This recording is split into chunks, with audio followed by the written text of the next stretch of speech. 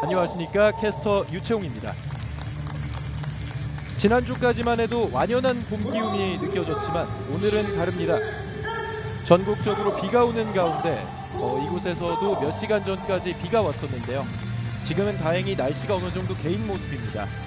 하지만 여전히 쌀쌀한 날씨가 이어지고 있기 때문에 상당히 이러한 변수가 어떤 식으로 작용을 하게 될지 양 선수들 모두 부상을 조심해야겠습니다.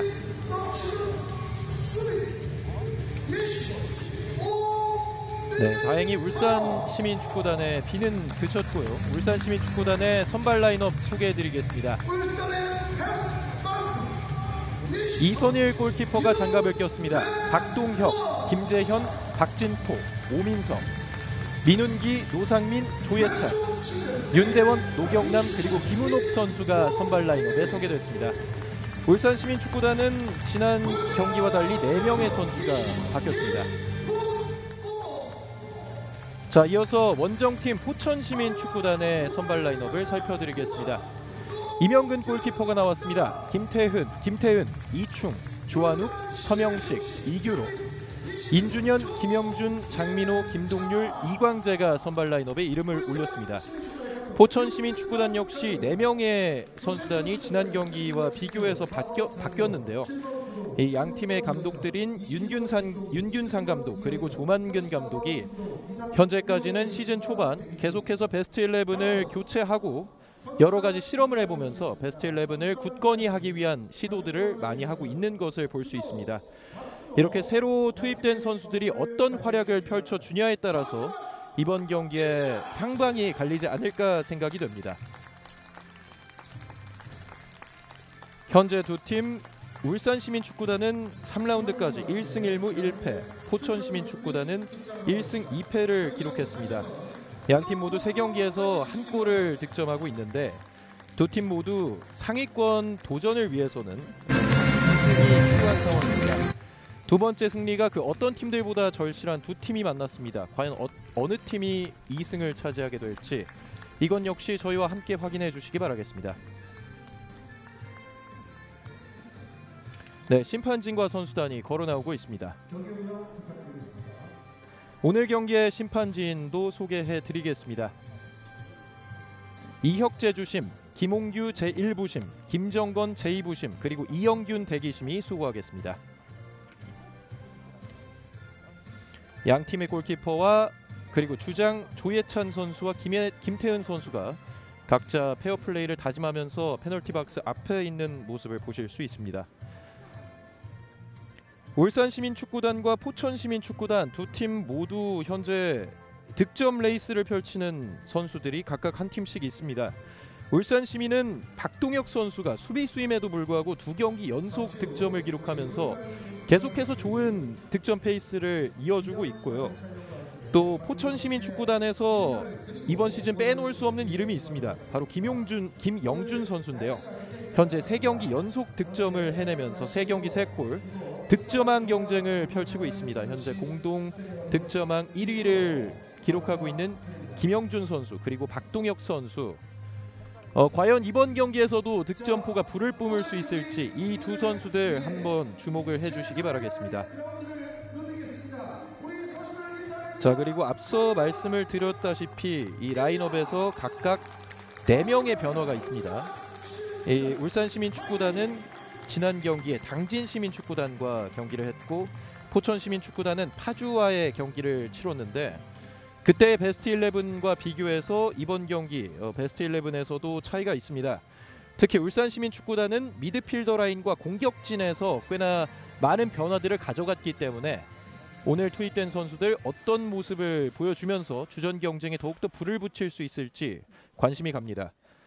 예, 또한 포천시민축구단도 수비수와 미드필더 라인에서 상당히 많은 변화들이 있습니다. 어, 저번에 나왔던 강영훈 선수와 신민철 선수를 대신해서 이 수비수들이 바뀌기도 했습니다. 그렇기 때문에 포천시민축구단의 수비진과 미드필더진 어떤 변화를 보여주면서 지난 경기 파주전에서의 패배를 어, 서력할 수 있을지 이번 경기에서 만회할 수 있을지를 지켜봐야겠습니다. 울산 시민 축구단은 2020년 K4 리그 준우승을 차지하면서 승격을 했었고 포천 시민 축구단은 작년이었죠. 2021 시즌 이 K4 리그 우승을 타, 차지하면서 자력으로 K3 리그 승격을 확정 지었습니다. 그 두 팀이 이제 만날 준비를 하고 있습니다. 네, 주심의 휘슬 소리와 함께 경기 시작됩니다. 이 진영 왼쪽이 홈팀 울산시민축구단 그리고 진영 오른쪽이 원정팀 포천시민축구단입니다. 예, 울산시민축구단과 포천시민축구단 2020년 이후 2022년에 1년 만에 둘이 만나게 됐습니다. 2020년은 이 포천시민축구단이 두 경기에서 2승을 거두면서 일단 이 최근 전적에선 포천이 조금 앞서는 모습이고요. 이번 경기에선 과연 어떤 결과가 나오게 될지 2년 사이에 어, 결과의 변화가 있을지 한번 지켜봐 주시기 바라겠습니다. 오른쪽에서 공격을 이어가는 홈팀 울산 높이 뛰어졌습니다만 네 울산 다시 한번 공을 잡아냅니다. 자 패스 이후에 아자 지금 따라 따라갑니다. 박동혁 선수 뒤쪽을 줬고 자 중앙에서 슈팅 지금은 약하게 갔습니다. 박진포 선수의 슈팅이었습니다.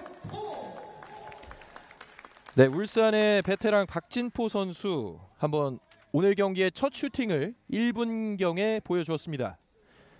약간 힘이 덜 실리면서 지금은 오른쪽으로 빠져나갔던 박진포의 슈팅. 그리고 오늘 포천 시민축구단의 골키퍼 이명근 골키퍼입니다. 대전 한국철도다 축구단에서 영입을 했던 이명근 골키퍼. 이번 시즌부터는 포천에서 뛰게 됐습니다. 자 계속해서 앞으로 찔러주고 있습니다. 기회가 났습니다. 박동혁 앞쪽으로 자 패스 좋습니다. 슈팅 기회 있습니다. 자 왼쪽으로 줬고 크로스 아 걷어냈습니다. 김태현 선수가 걷어냈습니다. 자 second ball 중요합니다. 계속해서 울산이 네 울산이 공을 가져가고 있고 왼쪽으로 줬습니다. 조금 길었는데요. 지금은 아 살릴 수 있을까요? 하지만 휘슬이 울렸습니다. 자 포천의 선수 한 명이 현재 넘어져 있습니다. 박동혁 선수와의 충돌이었는데요. 자 주심이 괜찮은지 확인을 하고 있습니다. 5번의 이충 선수로 보이는데요. 네.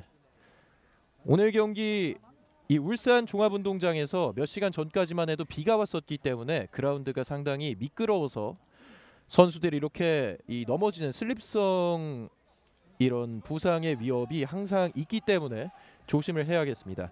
다행히 이충 선수는 이 일어나서 현재 걸으면서 본인의 몸 상태를 확인하고 있는 상황이고요. 프리킥 상황 포천 시민 축구단이 차고 있습니다. 멀리 찼습니다. 헤더. 자 울산 시민에게 공이 갔지만 포천 시민 다 앞쪽으로 찔러줬습니다. 하지만 골키퍼 이선일에게 공이 갔고 이선일 골키퍼가 앞쪽으로 줬습니다.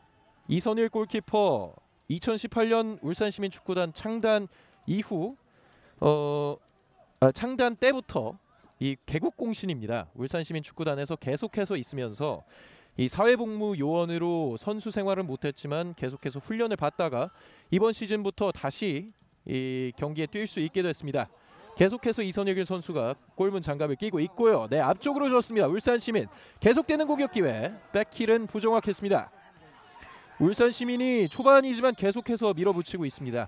지금도 파울이 나왔지만 상당히 어 상당히 거친 전방 압박을 통해서 포천 시민에게서 공을 탈취하려는 시도를 계속해서 하고 있습니다. 포천 시민 역시 빌드업을 통해서 뭔가 어, 좋은 공격 기회를 한번 만들어 나가야 할 텐데요. 네. 앞쪽에서 공을 뒤쪽으로 전해주었습니다.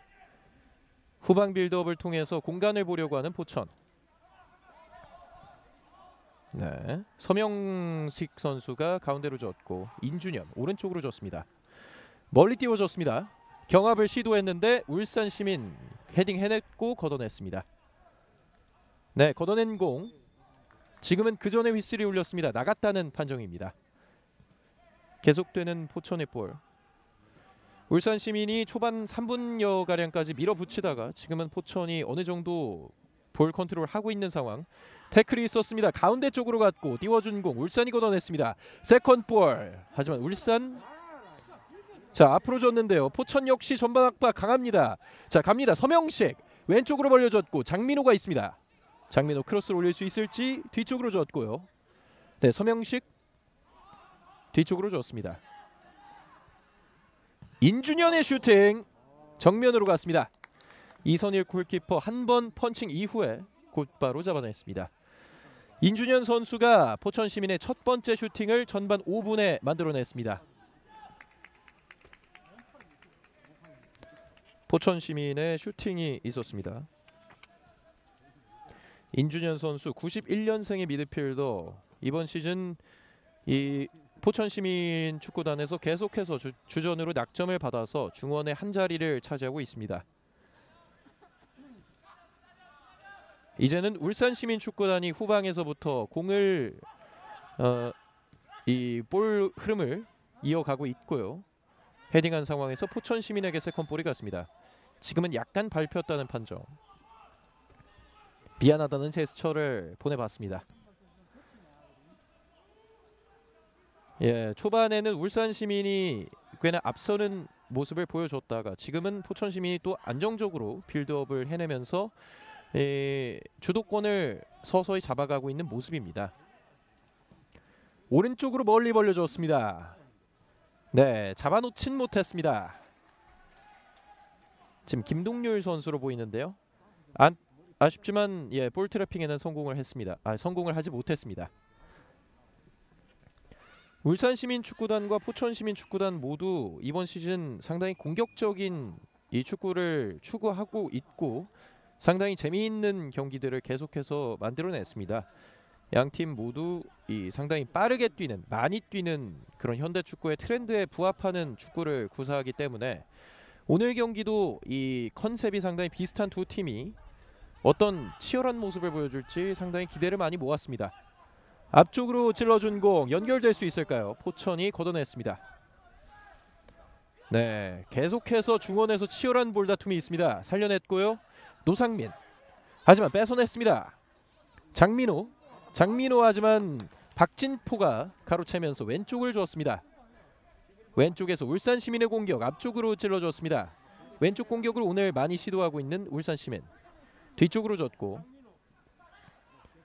일단 후방으로 볼을 투입하고 있습니다. 박진포가 앞쪽을 줬습니다.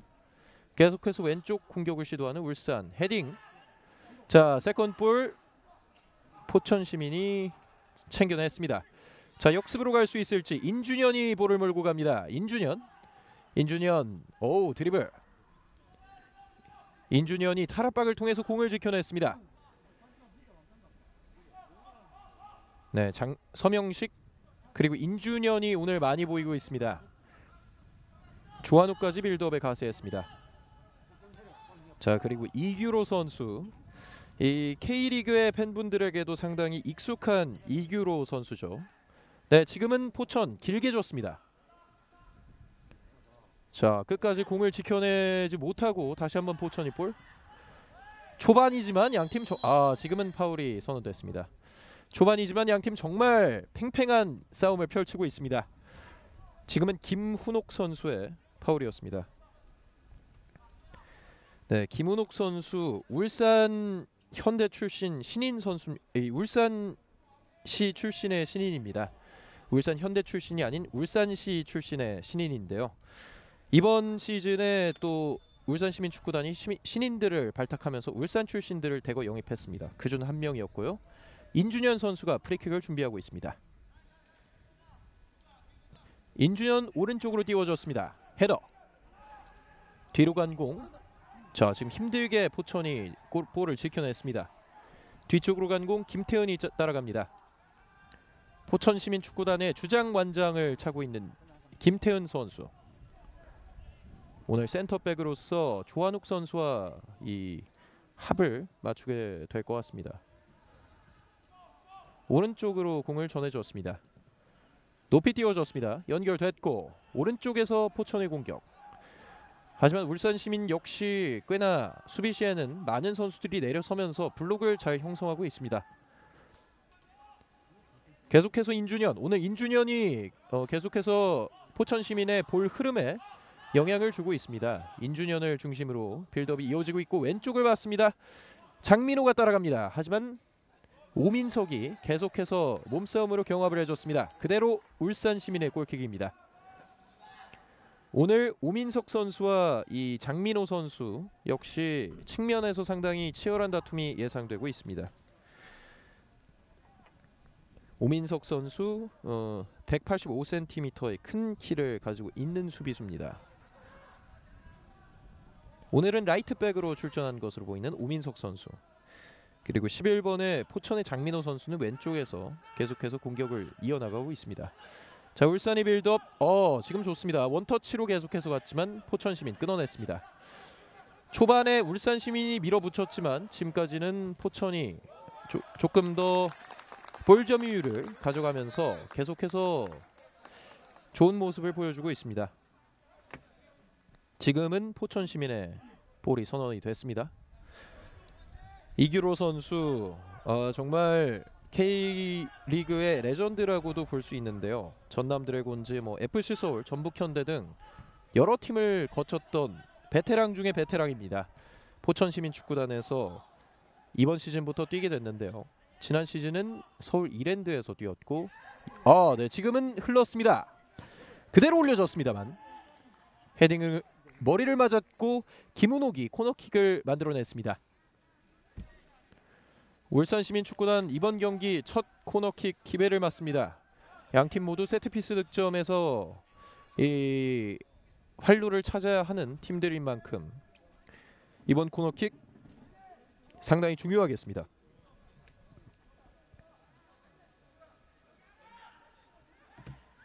네, 울산 시민 오른쪽에서 코너킥을 준비하고 있습니다. 노상민 선수도 보이고요. 조해찬 선수도 보입니다. 올려주었습니다. 헤러 걷어냈습니다. 멀리 차내는 포천 시민.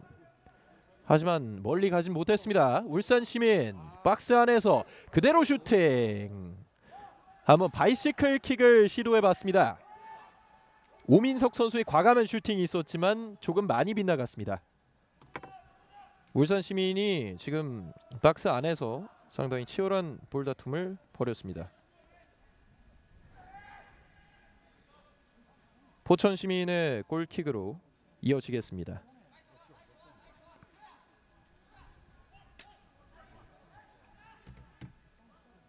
네, 지금 골킥을 네, 이제 찹니다. 헤더 멀리 걷어냈던 울산 시민 자 공중볼에선 우위를 보이고 있는 울산 시민 치고 갑니다. 자 계속해서 갑니다. 울산 시민. 하지만 수비수의 저항이 거셌고 노상민 선수 뒤로 갔습니다.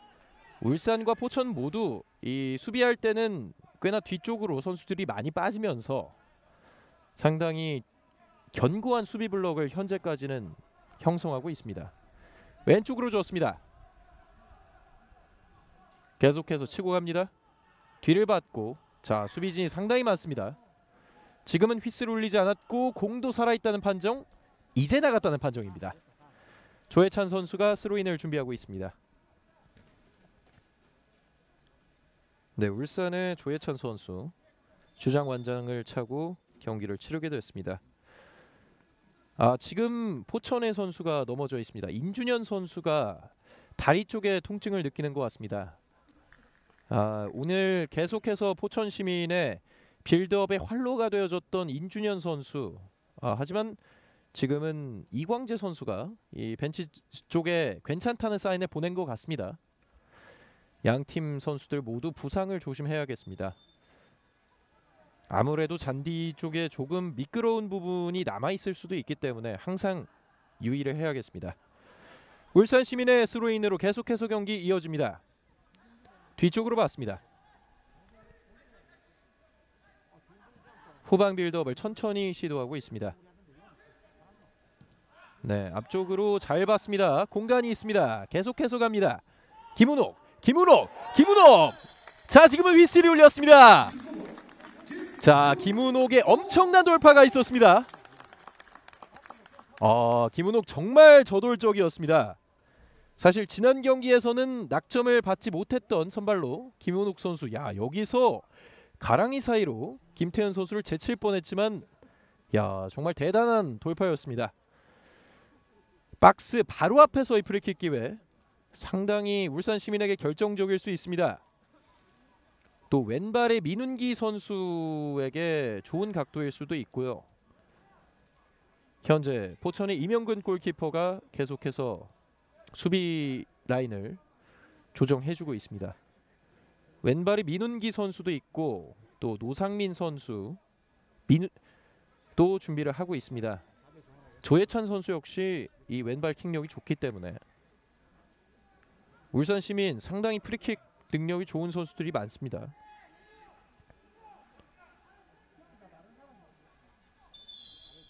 네, 휘슬이 울렸습니다. 세 명의 선수가 서 있습니다. 지나가고 슈팅 약간 떴습니다. 지금은 조예찬 선수의 프리킥이 있었습니다. 이 벽을 뛰어넘는 감아차기 슈팅을 시도했었는데요. 저 정도 되는 거리에서는 상당히 정석적인 프리킥이죠. 하지만 이 커브가 조금 덜 감기면서 높이 뜨고 말았습니다. 이번 경기 지금까지 가장 결정적인 기회를 울산 시민 축구단이 한번 만들어냈었습니다. 그 중심엔 프리킥을 이끌어냈던 민, 미, 김은옥 선수가 있었고요. 네, 울산 시민 이어 공격을 이어가고 있습니다. 왼쪽으로 원터치 패스 연결됐고 넘어졌습니다만 휘슬이 울렸습니다. 네, 조혜찬 선수가 파울을 얻어냈습니다.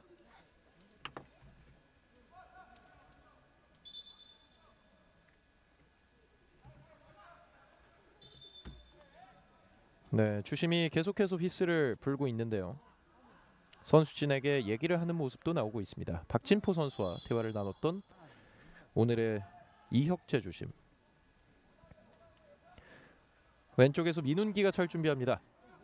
민운기는 또 멀리 차보낼 능력이 있기 때문에 롱킥 능력도 있는데요. 일단 뒤쪽을 봤네요. 후방 빌드업 네 멀리 봤습니다. 지금은 끊었던 포천 하지만 울산이 다시 한번 끊었고 자 공은 어디로 11번의 장민호 선수 장민호 장민호 하지만 수, 울산 시민의 커버 플레이가 좋았습니다. 어 장민호의 태클까지 장민호 선수가 왼쪽에서 계속해서 저돌적인 모습을 보여주고 있습니다만 울산 시민이 현재까지는 영리하게 잘 막아내고 있는 모습입니다. 노상민 선수가 잠깐 쓰러져 있었고요. 또 10분 이후부터는 울산 시민이 주도권을 어느 정도 가져가는 모습을 보여주고 있습니다. 멀리 찼습니다. 헤딩 경합 포천 시민에게 떨어졌습니다. 가운데로 줬고 뒤쪽에서 멀리 찼습니다. 자 왼쪽에 다시 한번 붙였습니다. 네 계속해서 장민호 선수를 이용한 붙이기 공격을 시도하고 있는 포천 시민. 하지만 뒤쪽으로 후방 빌드업을 이어가면서 계속해서 중원에서 인준현 선수가 컨트롤 타워 역할을 맡고 있는 모습입니다. 그리고 서명식 선수까지 어, 그러한 롤을 이 분담을 해주고 있고요. 자 앞쪽으로 줬습니다. 지금 장민호가 공을 뺏겼습니다. 노상민, 노상민 뒤쪽으로. 어 지금 전방 압박 좋습니다. 자 올려졌습니다. 하지만 코너킥을 만들어냈습니다. 김영준 선수가 계속해서 이 열심히 볼, 볼 다툼에 관여를 했기 때문에 또 이런 코너킥 기회를 만들었죠. 네, 포천 시민 축구단의 첫 번째 코너킥 기회입니다. 김영준 선수 이번 경기의 가장 큰 키플레이어입니다. 현재 세 경기 세 골을 집어넣고 있는 모든 경기에서 골을 넣은 선수. 오늘 경기까지 골을 넣게 된다면 네 경기 연속 골입니다. 울산 시민의 선수단 역시 이 김영준 선수를 유의를 할 수밖에 없겠죠. 포천의 코너킥 기회 올려주었습니다. 펀칭 세컨 볼은 포천에게 갑니다. 다시 한 번 올릴 수 있습니다. 뒤쪽으로 줬고 이규로 올려줬습니다. 자 포천 뒤로 줬고요. 약간 불안했지만 결국 볼을 지켜냅니다. 김동률이 오른쪽으로 봤습니다. 오른쪽에서 직접 파고 들어갑니다. 올려줬습니다. 하지만 이선일 골키퍼가 잡을 수 있습니다.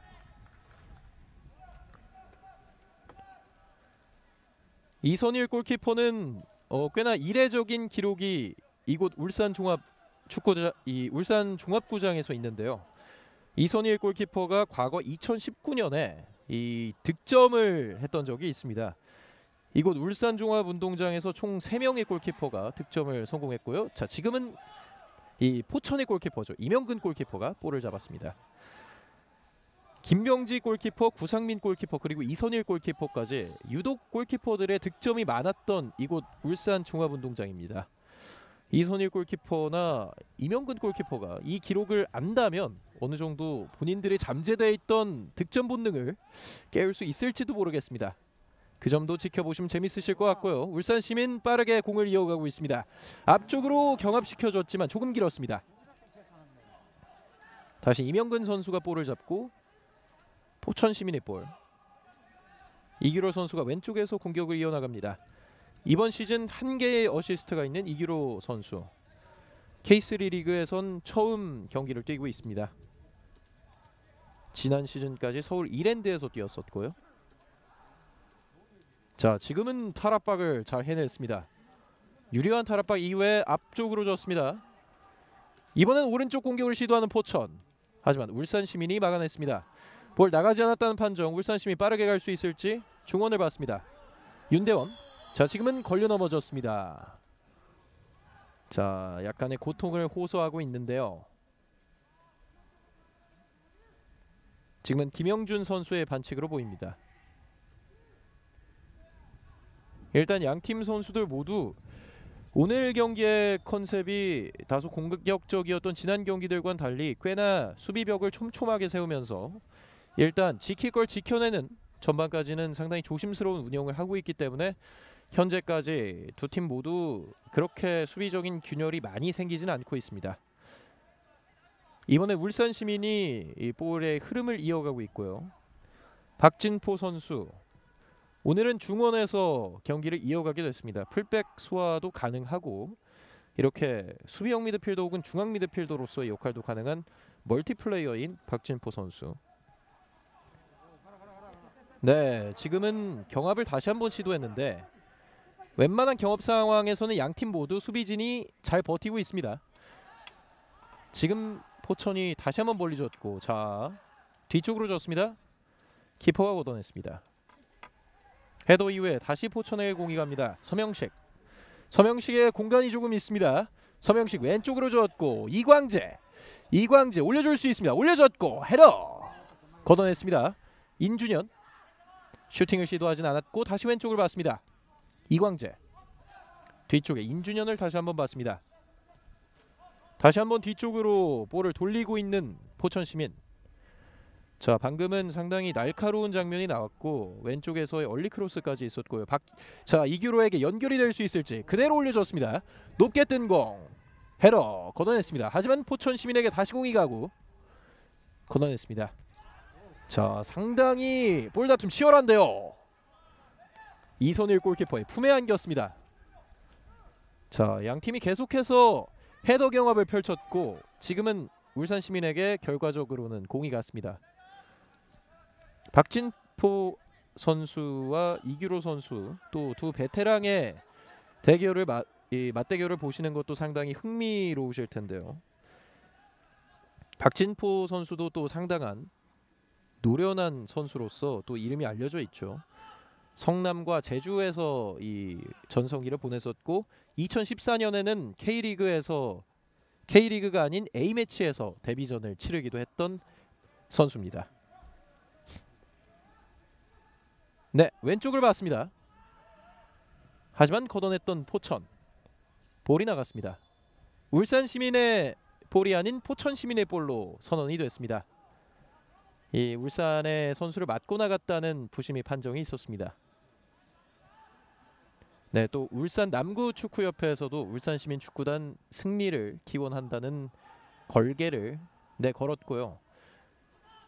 자, 지금은 포천 시민에게 공간이 생겼습니다. 가운데에서 다시 한 번 왼쪽을 봤습니다. 이광재, 이광재. 아, 지금은 이기로와의 생각이 맞지 않았습니다. 아, 이광재 선수와 이기로 선수 조금은 아쉬웠던 판단. 합이 지금은 약간 맞지 않았던 탓이겠죠. 자, 다시 한 번 계속해서 왼쪽을 두드립니다. 초반에는 왼쪽에 장민호 선수가 있었는데 이제 이규로 선수와 이광재 선수가 왼쪽에서 공격 시도를 많이 하고 있습니다. 다시 한번 이광재 가운데를 줬습니다. 이규로 가운데를 다시 줬고 자 울산 시민의 수비 역시 호락호락하지 않습니다. 계속해서 포천 시민을 뒤로 물러나게 하고 있습니다. 하지만 포천 시민 역시 그렇게 급할 것이 없는 입장으로 플레이를 하고 있습니다. 지금까지는 뭐 어쨌든 볼의 주도권을 잡고 있으니 그렇게 큰 무리를 하지 않으면서 본인들의 점유율을 계속해서 늘려나가다 이렇게 롱패스를 찔러 주고요. 자 김영준 선수 오늘 발밑이 상당히 기대된 김영준 뒤쪽을 줬습니다. 그대로 줬고 지금 연결이 됐습니다. 서명식 서명식 오른쪽을 줬습니다. 오른쪽 이충의 크로스 자 지금은 이선일 골키퍼가 잡을 수 있습니다.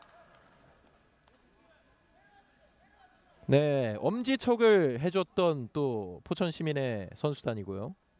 지금은 이충 선수가 또 얼리 크로스를 선보이면서 페널티 박스 안에서 좋은 기회를 맞이할 뻔했던 포천 시민이었습니다. 포천 시민이 원정 경기를 떠나와서도 상당히 어, 전반까지는 나쁘지 않은 경기력을 보여주고 있습니다. 그리고 울산 시민 축구단 역시 공격적으로는 많이 나서지 못했지만 어쨌든 수비적으로 견고함을 계속해서 보여주고 있는 지금까지의 흐름입니다. 툭 찔러줬고 계속해서 붙이는 시도가 많습니다. 양팀 모두.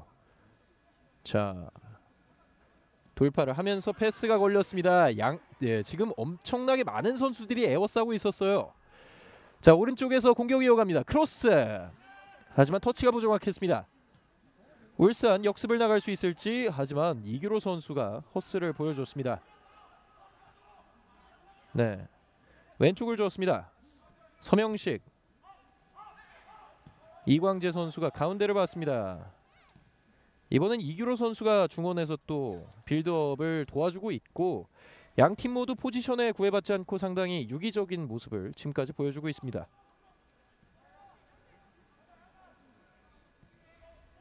왼쪽을 보지 않고 가운데에서 왼쪽으로 갔습니다. 조한욱. 자 울산 시민도 한 명의 선수를 제외하고 다 지금 두 줄 수비를 펼치고 있습니다. 공략에 쉽지 않음을 느끼고 있는 포천 시민의 축구단. 네 뒤쪽으로 줬고요. 결국은 키퍼에게까지 연결이 됩니다. 네 멀리 줬습니다. 네, 휘슬이 울렸습니다. 울산 시민의 공격권이 선언됐습니다. 박진포 선수가 끝까지 볼을 잘 지켜줬습니다. 울산 시민 축구단은 이번 시즌 현재까지 홈 경기를 두 번 치렀는데 두 번 모두 패배가 없습니다. 천안과의 개막전에서 0대0 무승부, 당진과의 이 지난 경기에선 2대1 승리, 그렇기 때문에 홈 경기에서는 꽤나 자신감을 보이고 있을 텐데요. 지금까지는 네 포천 시민에게 약간은 밀리는 모습을 보여주고 있지만 현재까지 0대0 이렇게 역습 상황에서 좋은 모습을 보여줘야 할 텐데요. 그에 비해서 포천 시민은 나, 아, 네, 지금은 상당히 볼다툼이 치열했습니다. 왼쪽으로 줬고 헤딩 연결됐습니다. 다시 한번 헤더 패스. 뒤로 줬습니다. 오른쪽으로 멀리 벌려줍니다. 이충 선수 오른쪽을 받고 이충 선수도 오늘 날카로운 크로스를 한 차례 보여줬습니다. 가운데에서 뒤쪽으로 오늘 경기 조만근 감독이 후방 빌드업에 대한 준비를 상당히 착실히 해온 것 같습니다. 지금까지는 하지만 조금 짧아서 위험할 뻔했습니다. 김은옥 선수에게 걸릴 뻔했습니다. 오늘 울산 시민에서 가장 지금까지 활발했던 모습을 보여준 선수는 김은옥 선수거든요. 상당히 저돌적인 플레이를 보여주면서 파울도 얻어냈었던 김은옥 선수. 이번엔 오른쪽으로 멀리 봤습니다. 포천 시민 연결됐습니다. 뒤쪽을 봤고 크로스. 하지만 헤딩에 막혔습니다. 울산 시민 역습을 이어갈 수 있을지 빠르게 높게 띄웠습니다만 키퍼가 나왔습니다. 멀리 걷어내고 있는 이명근. 네, 지금은 순두부 트랩 터치가 나왔습니다. 상당히 가볍게 터치를 한 후 뒤쪽으로 줬고 포천 시민은 원정 경기에서 지금까지 전패입니다. 이번 시즌. 당진과의 경기 그리고 파주와의 경기에서 각각 2대 1로 패배를 했었는데 이번 시즌 초반에 이런 원정 징크스를 포천 시민이 오늘 경기에서 깨기를 그 어느 팀보다 원하고 있을 겁니다.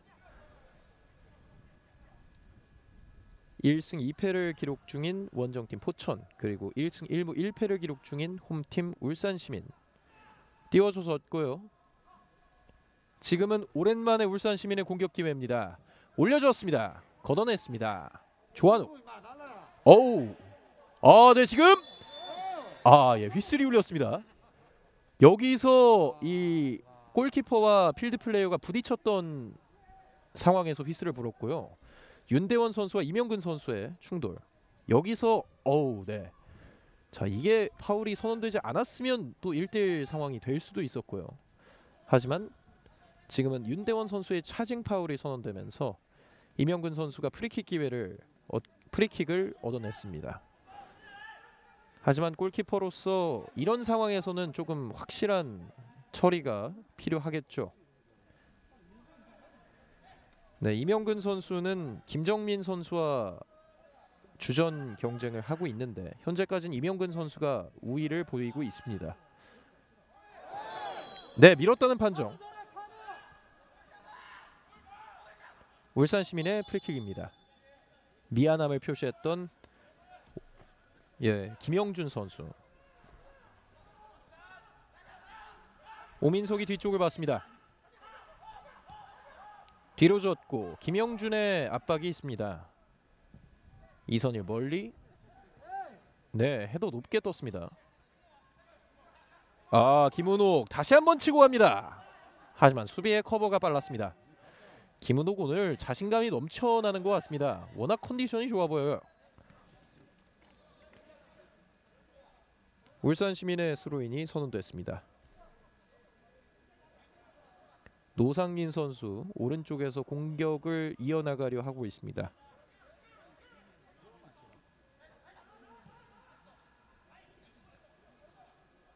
뒤쪽을 봤습니다. 양 팀의 수비가 모두 이번 전반까지는 견고한 상황. 어떤 팀이 먼저 선제골을 넣느냐도 상당히 큰 이번 경기의 화두가 될 것 같습니다. 지금은 먼저 나갔다는 판정이죠. 포천 시민의 볼이 선언됐습니다. 이규로 선수 FA컵 한 번 우승한 경험이 있고 K리그를 총 네 번 우승했던 이규로입니다.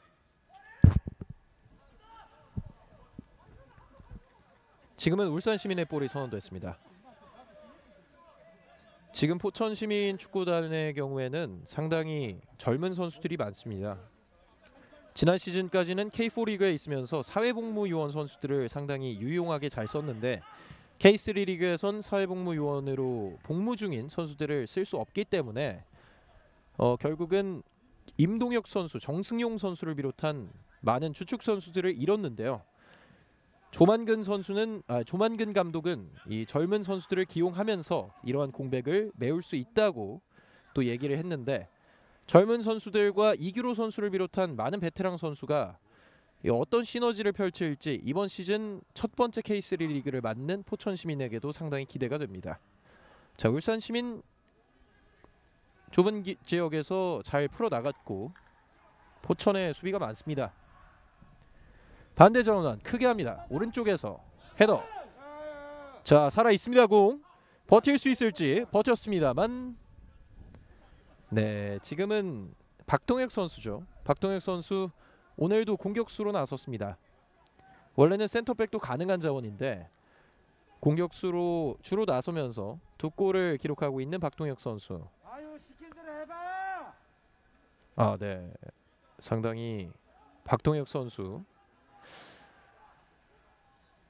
이 포천 시민의 김영준 선수와 함께 계속해서 득점왕 경쟁을 이어 나갈 것 같은 페이스입니다. 지금까지는 두 선수 모두 이번 경기에서 상당히 어깨가 무겁습니다. 자, 볼다툼 치열합니다. 하지만 울산 시민이 가져갔습니다. 김은옥 오른쪽을 주었습니다. 노, 박진포 볼을 지켜냈습니다. 스로인.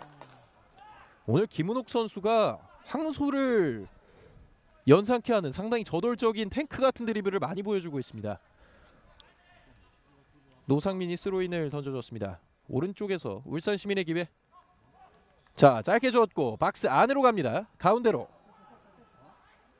뒤쪽에서 다시 한번 공격을 이어나가려고 합니다. 네, 태클이 있었습니다. 조예찬 선수 역시 왼발이 상당히 날카로운 선수입니다. 이 조예찬 선수가 박동혁 선수나 김은옥 선수를 겨냥한 날카로운 크로스를 보여주는 공격도 이번 경기에서 어, 상당히 시도할 만하고요. 현재까지 그런 장면 나오지 않고 있고 크로스 올려줬습니다. 하지만 포천이 기다리고 있었습니다. 울산 시민 계속해서 공을, 공을 잃어가고 슈팅은 막혔습니다. 오랜만에 울산 시민이 계속해서 볼을 잡고 있습니다. 왼쪽을 줬습니다. 자, 툭 찔러줬고 좋습니다. 조예찬의 크로스 선수 굴절되고 이명근 골키퍼가 잡아냈습니다. 오늘 양 팀이 측면에서 크로스는 많이 시도하지만 지금까지는 수비진들이 상당히 견고하게 잘 막아내고 있는 상황.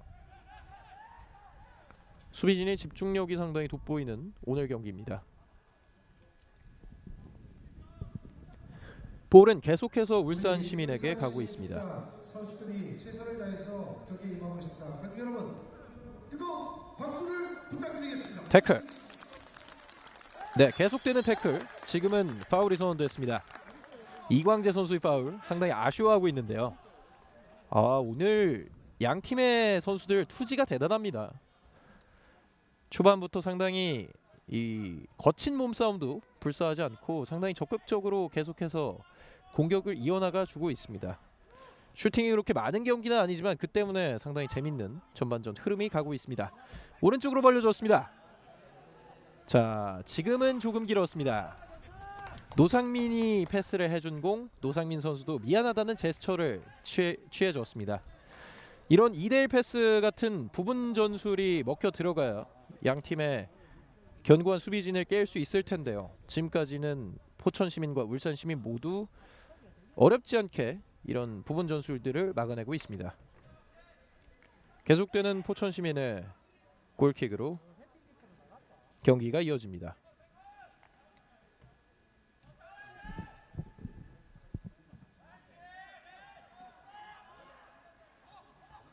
헤딩을 울산이 따냈습니다. 중원에서의 헤딩 경합은 울산이 어느 정도의 우위를 보이고 있지만 이 수비진 양팀 수비진에서는 양팀 수비수들이 지금까지 웃고 있습니다.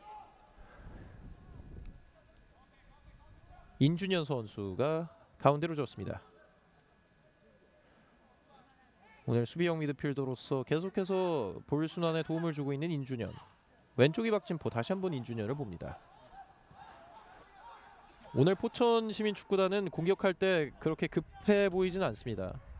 천천히 후방 빌드업을 통해서 기회를 엿보다가 양 팀 모두 어, 멀리 킥을 뿌려준다든지 이러한 공격 패턴을 상당히 많이 시도하고 있습니다. 울산 진영에서의 프리킥입니다. 지금은 바람이 꽤나 불고 있는 모습으로 보이는데요.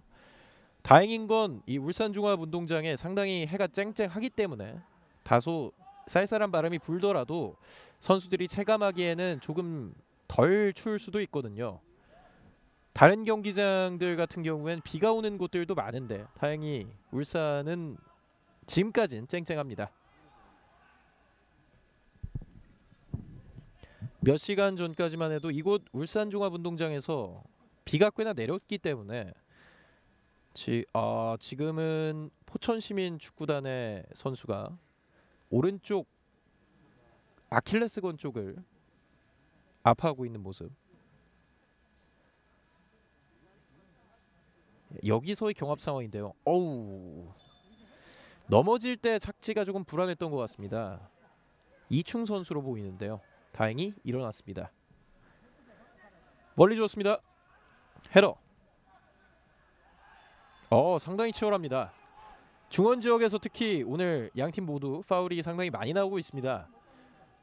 다른 팀이 볼을 잡게 되면 이 반대 팀 선수들이 가만히 있지를 않습니다. 정말 치열하게 계속해서 볼 다툼을 벌이고 있기 때문에 양 팀 선수들 공을 전개하는 것 자체가 상당히 어렵습니다. 조한욱 앞쪽으로 줬습니다만 부정확했습니다. 하지만 울산 포천 시민 계속해서 뺏어냅니다. 인준현 선수 그리고 조한욱에게 이번엔 조한욱이 가운데 쪽으로 갔습니다. 자 지금 위험했죠. 박동혁 선수의 발에 걸릴 뻔했습니다. 박동혁 선수 킬러분은 워낙 대단하기 때문에 조심해야 합니다. 네 헤딩 경합 이후에 지금 휘슬을 울리지 않았고 포천 시민 back heel로 내준 패스 울산 시민을 맞고 벗어났습니다. 이규로 선수였나요? 재치 있는 back heel 패스가 나왔습니다. 이규로 멀리 붙여줬습니다. 가슴으로 받아놓고 울산 시민 자 전방 압박 치열하죠. 이규로가 가운데 쪽으로 줬고 인준현 오른쪽을 봤습니다. 이충 이충 그대로 올려줬습니다. 하지만 헤딩 계속해서 먼 지역에서의 크로스와 붙여넣는 이 경합을 경합 상황을 많이 만들려고 노력하는 포천 시민. 하지만 이 포천 시민의 공격수들이 조금 더 어우 지금은 발로 걷어냈습니다. 조금 더 볼 경합에서 이겨줘야 기회가 나올 텐데요. 지금은 휘슬이 울렸습니다. 조혜찬 선수가 뒤에서 밀었다는 이역재 주심의 판정, 판정입니다. 포천 시민 입장에서는 가장 결정적인 프리킥 찬스가 이 찬스이지 않을까 싶은데요. 지금까지 전반전 42분까지 중에서 가장 좋은 자리에서의 프리킥 찬스가 포천에게 왔습니다. 포천 역시 공중볼을 통해서 득점을 넣을 수 있는 선수들이 상당히 많습니다. 네, 인준현 선수도 있고 서명식 선수도 있네요. 올려줬습니다. header. 오우. 네, 지금 상당히 날카롭게 왔고 다시 한번 코너킥이 선언이 됐습니다. 이충 선수를 겨냥해, 겨냥했던 코너킥인데요. 96년생의 수비수 이충 선수 보시다시피 키가 상당히 크기 때문에 이런 공중볼에서 상당히 많은 도움을 줄 수 있습니다. 포천 시민의 오른발 키커는 인준현입니다. 네, 앞쪽으로 뒤, 짧게 줬고 올려줬습니다. 조금 길었습니다. 멀리 걷어낸 울산 시민의 주- 수비진. 자, 지금 네 골키퍼에게 헤딩으로 안전하게 연결해 줬습니다. 이명근 골키퍼가 조금 템포를 늦추고 있습니다. 이 원래 있던 선수들이 복귀를 하, 하기를 또 주, 지시를 내리는 것 같고요. 네. 또 수비진이 이렇게 앞까지 와- 온 경우에 볼을 멀리 붙여준다면 좋은 기회가 올 수도 있지만 그만큼 역, 역습 찬스를 내줄 확률이 있기 때문에 저런 상황에서는 골키퍼들이 이 원래 있던 수비진들에게 내려오라고 신호를 보낸 뒤에 저렇게 킥을 차고는 합니다. 왼쪽 이규로를 봤습니다. 천천히 공격을 이어나가고 있는 포천시민 축구단. 포천시민 축구단이 어웨이 경기에서도 꽤나 볼 점유율을 잘 가져가고 있고 울산시민 축구단 역시 견고한 수비로 그에 맞대응을 하고 있습니다. 상당히 팽팽한 전반전. 이제 정규 시간까지는 1분이 채 남지 않았습니다. 오른쪽에서의 공격 뺏겼고 울산 시민 빠르게 갈 수 있을지 돌파 이후에 오 지금 연결될 수 있을까요? 양 팀 몸싸움 치열합니다. 포천 시민이 결국은 지켜냈습니다. 볼을 잡았고 조혜찬 가운데를 봤습니다. 박진포 올리지 않고 왼쪽으로 갑니다. 박진포 벌려줬습니다. 크로스 올라갔습니다. 슈팅 아 왼쪽으로 갔습니다. 박동혁 선수를 노렸던 크로스 그리고 박동혁이 헤딩까지 가져가 봤습니다만 골문을 가르진 못했습니다. 박동혁 선수 또 울산 시민 현재까지 최다 득점자 울산 시민이 지금까지 넣었던 세 골 중 두 골을 부담했던 박동혁 선수가 이 전반 끝나기 직전에 좋은 헤딩을 한번 보여줬습니다. 추가 시간은 1분이 선언됐고요. 현재 30초가 남은 상황. 포천 시민 마지막 공격을 이어가지 못하고 자 하지만 포천에게 공이 왔다가 다시 한번 울산 시민 네 양 팀 계속해서 볼다툼이 치열합니다. 저도 헷갈릴 정도로 계속해서 볼의 주인이 바뀌고 있습니다. 자 걷어낸 공 약간 빗맞았습니다. 또 이런 상황이 위험할 수도 있습니다. 확실하게 골키퍼가 걷어내주는 것이 중요하고요. 또 요즘 현대 축구에서는 키퍼의 발기술이 상당히 중요한 위치죠.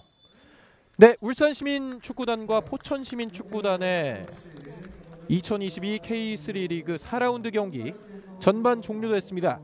양팀 0대 0으로 전반을 마쳤습니다. 울산 시민 축구단이 초반까지는 꽤나 몰아붙이는 분위기였습니다만 약 10분 이후로는 포천 시민 축구단이 점유율을 많이 가져가면서 경기를 주도했습니다.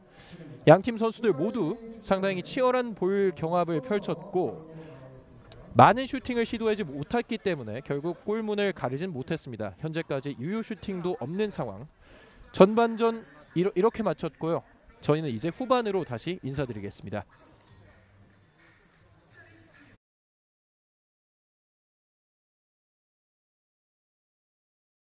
되면은 또 확률을 높일 수 있거든요.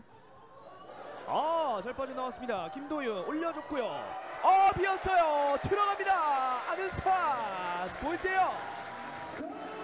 야, 이게 한 방의 역습으로 들어갑니다. 자, 지금은 포천이 잠깐 어지러웠던 순간에 파주가 집중력을 한 차례 보여줬습니다. 자, 아는산 선수 야 이번 시즌 첫 번째 득점이 나왔고요. 이렇게 되면은 포천도 이제 마냥 기다릴 수는 없어요. 자 득점 장면 다시 보겠습니다. 김도윤의 커팅. 아 이거는 아 수비와 골키퍼 간의 커뮤니케이션 부족이라고 할 수 있겠죠. 사실 조한욱 선수와 임형근 선수 한 명만 양보했더라면은 깔끔하게 처리할 수 있었거든요.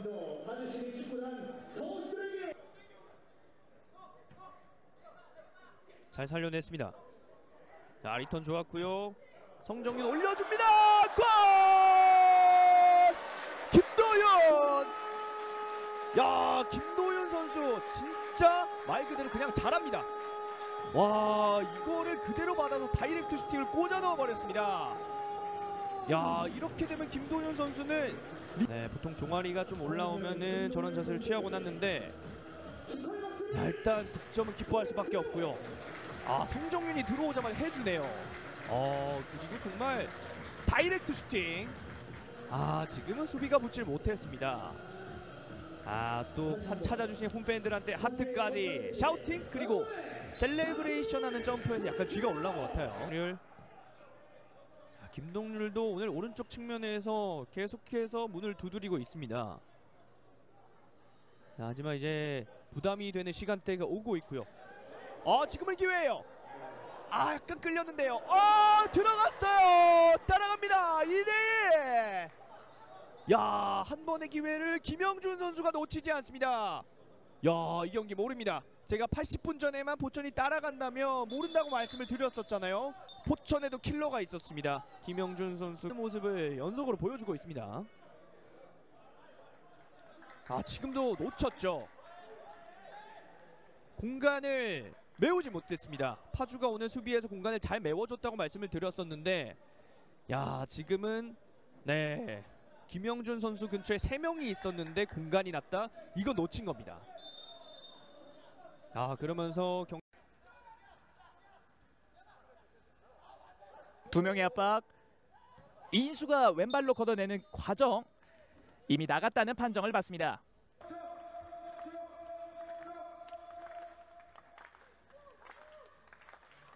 최진수 올라갑니다. 헤더! 오호! 혼자 상황 슈팅 들어갑니다. 울산 시민 축구단이 1대 0 선제 득점에 성공합니다. 흘러나온 볼 박동혁이 놓칠 리 없었고요. 네, 울산 시민 이 코너킥 상황에서 네, 결국에는 제공권의 우위를 이렇게 선제골로 연결시켜 줬습니다. 네, 다시 보시죠. 높게 올라갔고요. 네, 인수 골키퍼도 부담이 갈 수밖에 없는 높이였어요.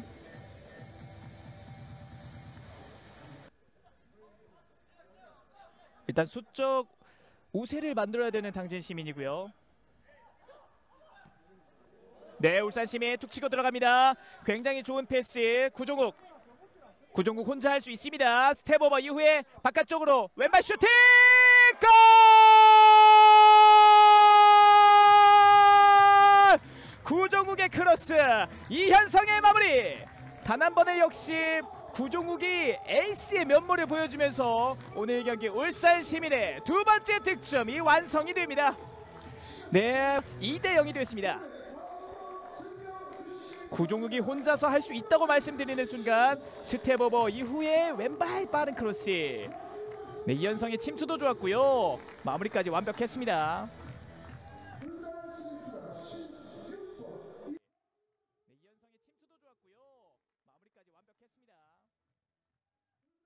다 다시 한번 문기한 오른발 낮은 패스였는데 그대로 동료 선수 발밑으로 향하진 않았습니다.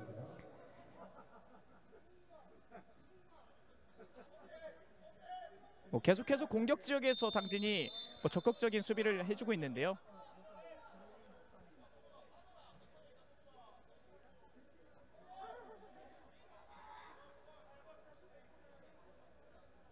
네, 간접 프리킥이 주어진 것 같아요. 이선일 골키퍼가 네, 너무 신기 준비하는데요.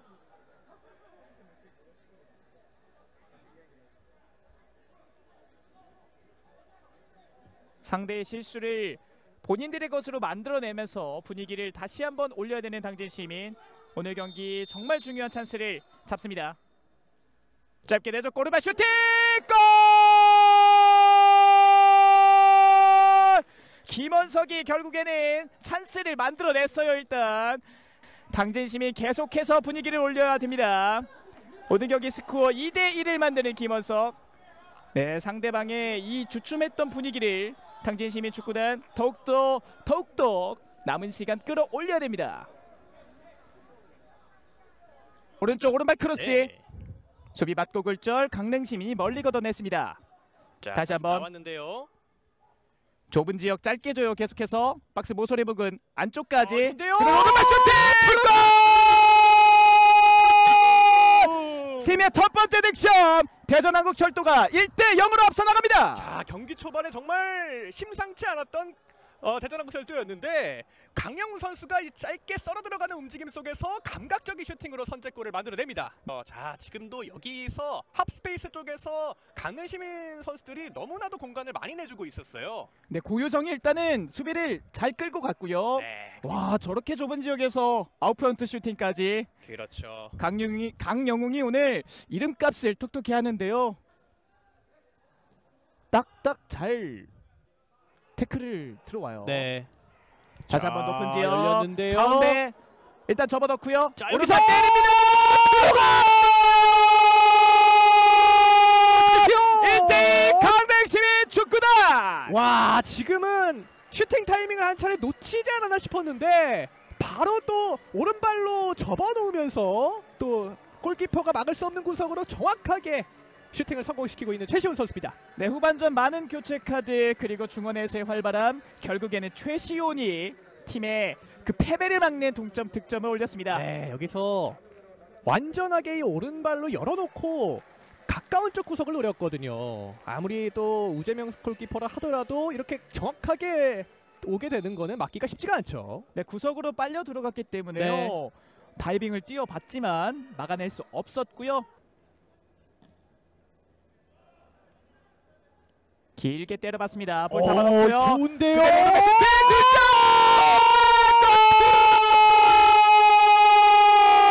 골! 2대1 강릉시민 축구단 기어코 역전에 성공합니다. 자 지금 일단은 하프라인 바깥쪽에서 한 번의 프리킥이 올라왔는데 여기서 second ball 터치가 워낙에 좋았고 그러다 보니까 대전 입장으로서는 수비를 대처할 시간이 그렇게 많지가 않았거든요.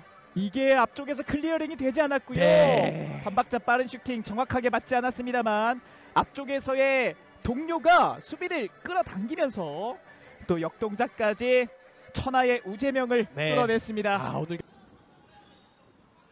김은선 김해는 급하지 않고 이제 김은선 선수를 통해서 빌드업을 차근차근 좀 시도를 하고 있고요. 오, 아 루안이죠. 와, 들어갔어요.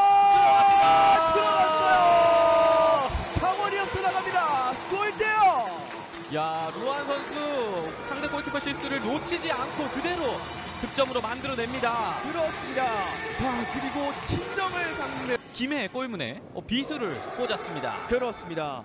야 창원의 이 루안 선수 혼자만 리그에서 득점을 했었거든요. 아 지금 이경태 골키퍼가 약간의 실수 미스가 나오면서 루안 골- 어, 선수에게 그대로 어, 볼을 넘겨주고 말았고요. 여기서 루안 선수가 침착하게 밀어 넣으면서 어, 리, 빠르게 선제골을 넣었습니다. 이게 바로 전방 압박이거든요. 네 맞습니다. 오늘 전방 압박 계속 강조했는데 아 여기서 꼭 결국 빠른 득점이 나왔습니다. 야 그리고 침착하네요. 그렇죠. 저기서 사실은 너무 좋은 찬스였기 때문에 왼발 한번 노려 봐야겠습니다. 그렇습니다. 자 오른쪽에서 코너킥. 아 중앙으로 잘 연결. 쭉 들어갔어요. 추가골 또 한 번 루안입니다. 스코어 2대요. 루안 또 세레모니 합니다. 야 친정 사랑이란 없다. 나는 창원의 루안이다. 이제는 창원 소속이다 이거죠. 네.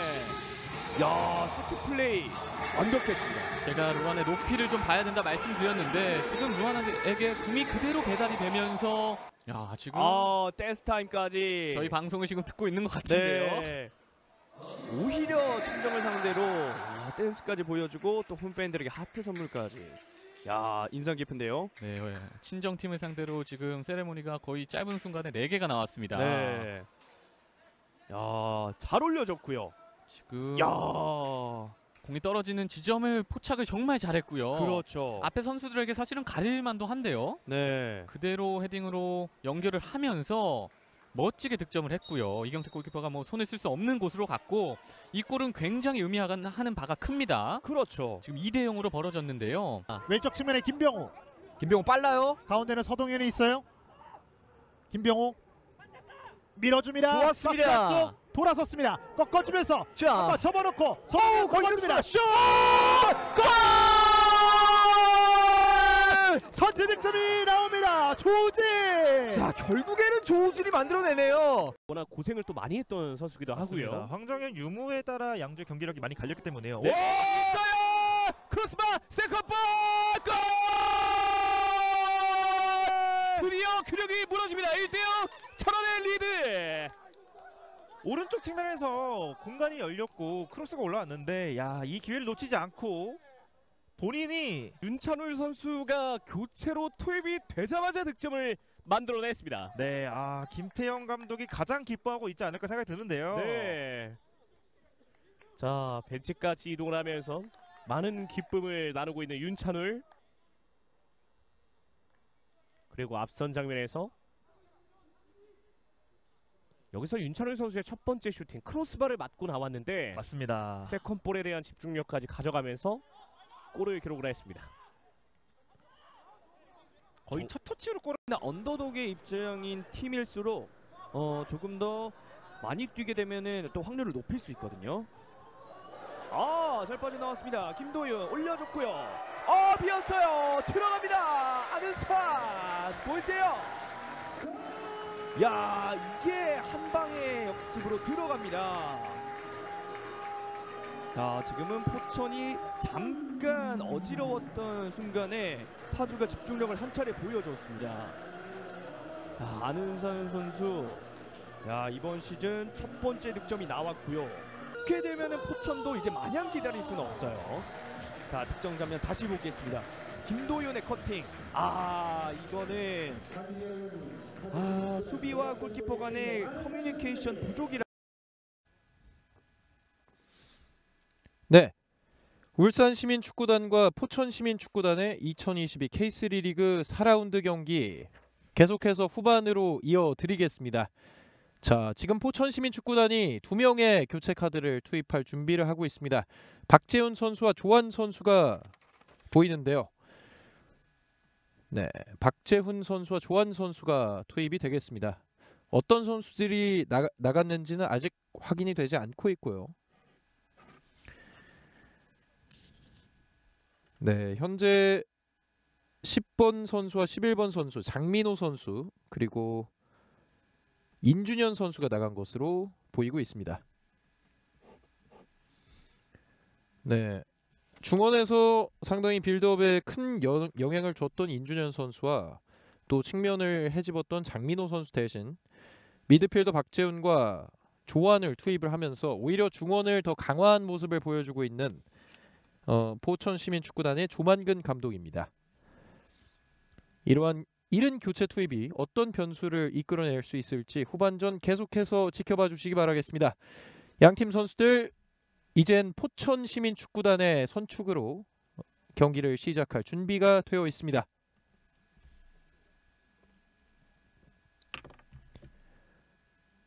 네, 추심의 휘슬 소리 풀렸습니다. 후반전 울산 시민과 포천 시민의 경기 계속해서 이어드립니다. 양팀 진영을 바꿔서 왼쪽이 포천 시민 축구단, 오른쪽이 울산 시민 축구단입니다. 네, 경쾌한 노래와 함께 시작을 했습니다. 자, 포천 시민 곧바로 공격을 이어나갑니다. 슈팅 막았습니다. 세컨볼 슛 골! 들어갔습니다. 선제골은 포천 시민이 들어갔습니다. 19번의 김동률 선수 선제골을 선물했습니다. 자, 지금 이 세컨볼을 김용준 선수의 슈팅 그리고 김동률이 세컨볼을 가져갔습니다. 포천 시민 원전 경기에서 소중한 득점을 선제 득점을 가져가게 됩니다. 자, 김동률 선수 지난 경기에서는 지난 경기에 이어서 오늘 경기도 투입이 됐었는데 조만근 감독의 부름에 응답하는 김동률의 이번 시즌 첫 번째 득점이 터졌습니다. 후반이 시작하자마자 포천 시민 축구단이 골을 터뜨렸고 지금은 빌드업에서 실수가 있었습니다. 계속해서 빠르게 합니다. 그대로 슈팅. 골키퍼 정면으로 향했습니다. 역시 이 8번의 김영준 선수가 포천 시민에서 공격진의 에이스 역할을 톡톡히 해주고 있습니다. 선제골도 김영준 선수가 득점을 이 슈팅을 날린 것을 이선일 키퍼가 막은 걸 또 김동률 선수가 넣었는데요. 자 지금은 울산 시민이 붙였습니다. 동점골이 절실한 울산 시민 후반 시작하자마자 불의의 일격을 얻어 맞았습니다. 선수들이 후반전에 적응하기도 전에 이렇게 일찍 골을 먹혀버린다면 상당히 혼란스러울 수밖에 없거든요. 정신도 없고 몸도 아직까지 제대로 풀리지 않은 상황에서 빨리 울산 시민 축구단도 이러한 분위기를 수습해야 할 필요성을 느낄 것입니다. 붙여졌던 볼 울산 시민의 헤더 지금은 휘슬이 울렸습니다. 포천의 반칙으로 선언이 됐고 자 발목을 부여잡고 있는데요. 지금은 일어났습니다. 네 일어나면서 경기가 계속해서 재개되겠습니다. 왼쪽을 봤습니다. 맞은 공 멀리 걷어냈습니다. 헤더 자 헤딩 경합 계속해서 치열한데요. 오우 양팀 선수진 후반전에도 변함없이 상당히 중원에서 치열한 볼다툼을 가져가고 있습니다. 지금 띄워줬고 계속되는 포천이 공격 터치가 조금 길었는데요. 자 어드밴티지 선언됐습니다. 가운데로 줬고 패스가 부정확했습니다. 뛰어갔습니다. 멀리 걷어내려 했던 조예찬 하지만 포천의 선수를 맞았습니다. 조한 선수 후반전에 교체 투입됐는데요. 상당히 후반전에 교체 투입된 만큼 활발한 모습을 보여주면서 포천 시민의 공격에 활로를 뚫어줘야겠습니다. 박동혁 선수가 넘어졌습니다. 울산 시민의 프리킥.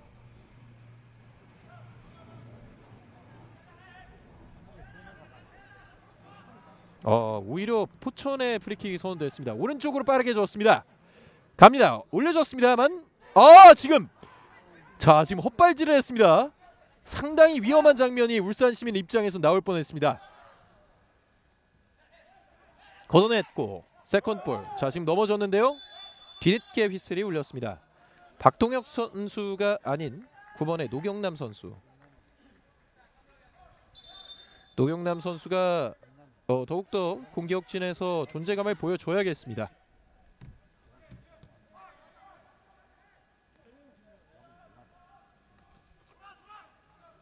네, 뒤쪽에서 공을 돌리고 있는 울산 시민 오른쪽으로 크게 뿌려졌습니다.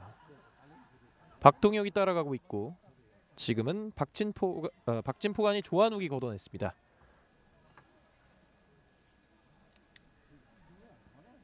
울산 시민의 스로인이 선언됐습니다.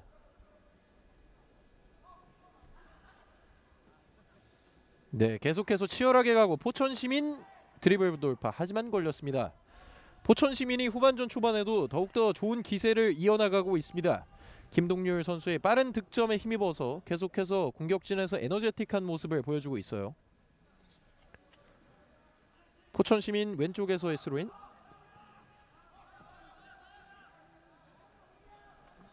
네, 골키퍼에게까지 갔습니다. 멀리 차졌고 공중볼. 네, 지금 휘슬을 울리지 않았고 울산 시민이 공을 뒤쪽에서 돌리고 있습니다. 이선일 골키퍼가 멀리 찼습니다. 이게 또 연결이 돼야 할 텐데요. 아, 지금은 압박 좋았고 자, 지금은 대놓고 팔을 썼죠. 울산 시민 축구단도 선수단을 교체하려고 합니다. 지금은 강영훈 선수를 비롯해서 세 명의 선수 투입을 아, 네. 투입을 준비하고 있습니다. 장재원 선수, 구종욱 선수 그리고 이원, 이현성 선수까지 상당히 많은 선수들을 동시에 투입을 하고 있습니다. 장재원 선수 중앙 미드필더를 볼 수 있는 자원이고 구종욱 선수는 황, 상당히 공격진의 활로를 뚫어줄 수 있을 것 같습니다. 자 울산 시민 계속해서 뒤쪽에서 공을 이어나갑니다. 울산 시민 역시 후반전 골을 얻어맞고 난 뒤에 상당히 많은 선수들을 교체하면서 분위기의 반전을 꾀하고 있습니다. 이현성 선수 윙어를 볼 수 있는 선수로 창원시청에서 이번 시즌 영입한 선수까지 총 3명의 선수를 교체 투입한 울산 시민 축구단. 울산 시민 공격을 이어나갔습니다. 볼 연결됐습니다. 갑니다. 넘어졌지만 휘슬 울리지 않았고 네 조혜찬 올려줬습니다. 헤더 걷어냈습니다. 다시 한 번 울산 시민 오른쪽에서 이번엔 공격 크로스 네 크로스를 포천 시민이 다 막아내고 있어요. 자 위험합니다. 박진포 선수 공을 지키기, 지키지 못했고 지금은 어드밴티지를 주려다가 포천 시민에게 이 프리킥을 줬습니다. 박진포 선수의 파울.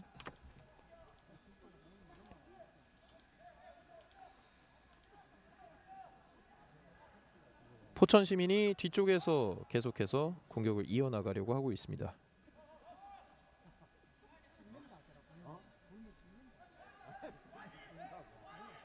네, 뒤쪽에서 포천 시민은 이제 급할 게 없습니다. 현재 저- 선제골도 넣었고 어느 정도 볼 점유율로도 계속해서 주도하는 흐름을 만들었기 때문에 포천 시민 입장에서는 계속해서 전반에 해줬던 그런 어, 후방 빌드업에서의 강점을 보여줄 필요가 있겠습니다. 멀리 차줬습니다. 하지만 박진포가 커트해냈습니다. 울산시민축구단 공격을 이어나가려 하고 있습니다. 뒤로 줬습니다. 울산 시민도 한 골을 뒤지고 있지만 아직까지는 공격에서 꽤나 어려움을 겪고 있습니다. 또 이렇게 공격을 이어나가려고 하면 파울이 상당히 많이 선언되고 있습니다. 양 팀 모두 고의적으로 상대의 빌드업 흐름을 끊기 위한 중원에서의 파울이 상당히 많은 오늘 경기.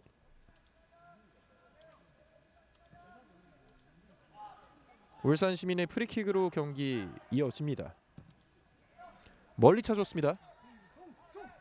경합 상황 울산 시민에게 공이 갔습니다. 뒤쪽에서 왼쪽을 보지 않고 본인이 직접 뒤쪽을 봤습니다. 박진포 왼쪽을 받고 자 이어나갈 수 있을지 갑니다. 이현성 교체 투입된 이현성 볼을 탈취하려 했지만 실패했고 포천 시민 여전히 단단한 수비력을 보여주고 있습니다. 멀리 찾은 볼 연결이 된다면 역습 상황인데요. 지금은 일단 1차 커트를 해냈고 자 공이 오히려 울산 시민에게 열렸습니다. 박동혁 살려내고 자 구종욱 지금은 휘슬이 울렸습니다.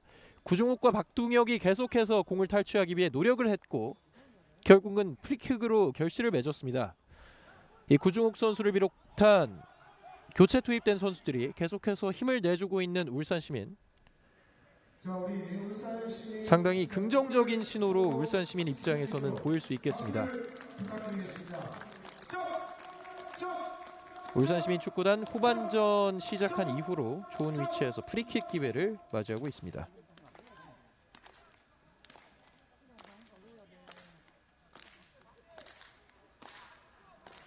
네, 프리킥을 준비하고 있는 노상민 선수도 보이고 민운기 선수도 보입니다.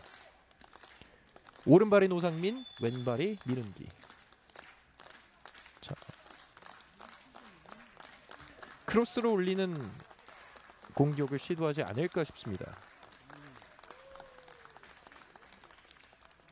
노상민 그 직접 슈팅을 노려봤습니다.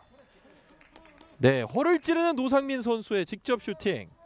결국은 포천 시민의 수비벽을 맞고 코너킥이 됐습니다. 울산 시민 축구단 킥력이 좋은 선수들 상당히 많습니다. 왼발의 민운기나 조혜찬 선수도 프리킥이 가능하고 방금 날카로운 슈팅을 보여준 노상민 선수도 있습니다. 왼쪽에서의 코너킥 이어 나가려 하고 있습니다. 구종욱 선수가 바로 옆에서 기다려주고 있고 구종욱에게 짧게 줍니다. 자 다시 한번 노상민 구종욱 쪽을 받고 수비진에게 빈틈이 생겼습니다. 올려줬습니다. 약간 길게 헤더! 오 벗어났습니다. 아 지금은 머리에 걸리지 않았습니다. 상당히 위협적인 공격을 시도했던 울산 시민 축구단 김재현 선수가 헤딩으로 다시 한번 골문 쪽을 겨냥을 했는데 여기서 아, 아무도 맞지 않았습니다. 결정적이었던 울산 시민의 기회. 예, 이런 식으로 세트피스 기회에서 신장이 큰 선수들의 머리를 활용하는 것도 상당히 울산 시민에겐 활로가 될 수도 있습니다. 헤러 멀리 차내는 파주 아 포천 네 지금은 주심의 휘슬이 울렸습니다. 프리킥 상황 포천 시민도 방금의 울산과 비슷한 위치에서의 프리킥을 가져갈 수 있습니다.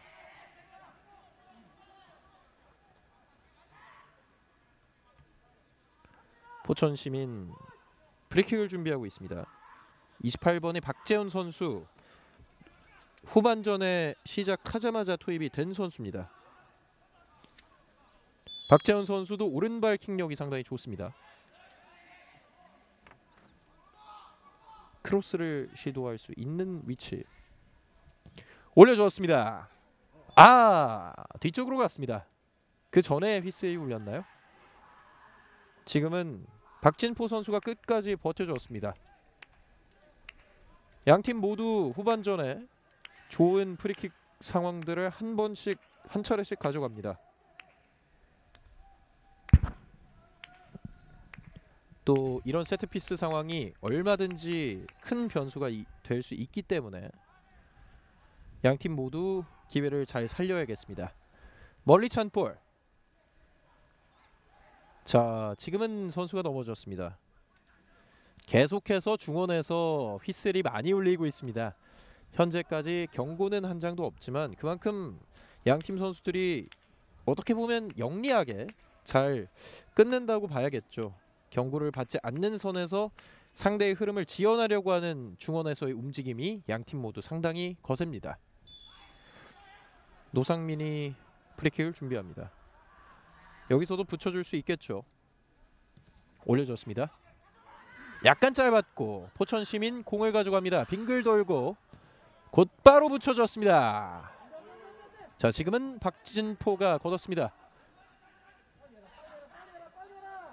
조예찬 걸려 넘어졌습니다.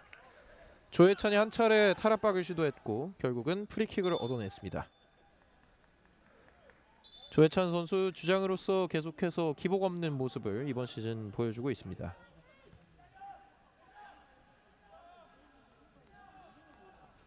네, 울산 시민 후방에서 볼을 돌리면서 계속해서 기회를 포착하려고 하고 있는데요. 앞쪽을 받고 아 상당히 압박 치열합니다. 몸을 사리지 않고 있어요. 이렇기 때문에 울산 시민이 뭔가 중원에서 제대로 된 빌드업을 잘 하지 못하고 있습니다. 포천 시민의 상당한 몸을 사리지 않는 플레이들이 이어지고 있고 울산 시민 역시 오늘 경기 계속해서 거친 몸싸움을 마다하지 않는 이 상당히 많이 뛰는 경기력을 오늘 경기에서도 양 팀 모두 보여주고 있습니다.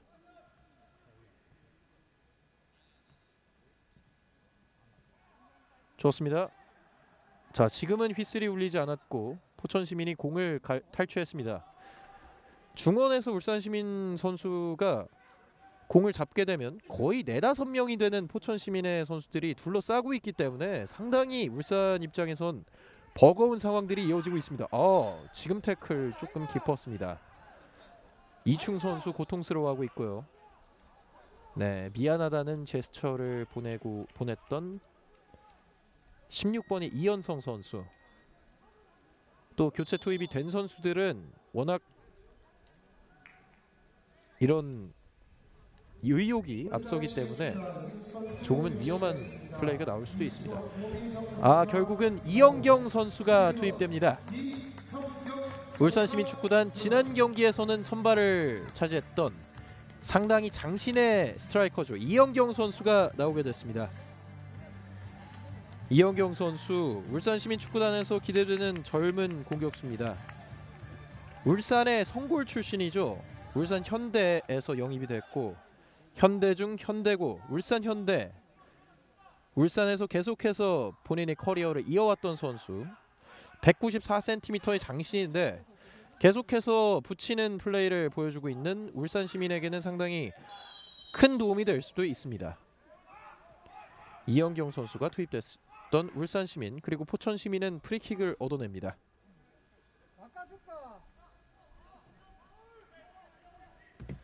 이광재 선수가 쓰러져 있다가 다시 일어났습니다. 포천 시민 계속해서 공격을 이어나갑니다. 뒤로 줬고 멀리 보냈습니다. 자 뒷발 패스 이후에 네 오프사이드가 선언이 됐습니다. 하지만 상당히 감각적인 뒷발 패스가 나왔던 포천 시민 축구단 네 이런 예기치 못한 플레이들이 또 득점 기회에 가까운 장면들을 많이 만들어낼 수 있기 때문에 양 팀 모두 이런 천재적인 번뜩이는 플레이들 많이 시도해야 될 필요가 있겠죠. 후방에서부터 이 볼 전개를 해, 해나가는데 역시 포천 시민의 선수진이 많습니다. 하지만 파울이 선언됐습니다. 아, 전방에서부터 압박이 상당히 치열합니다.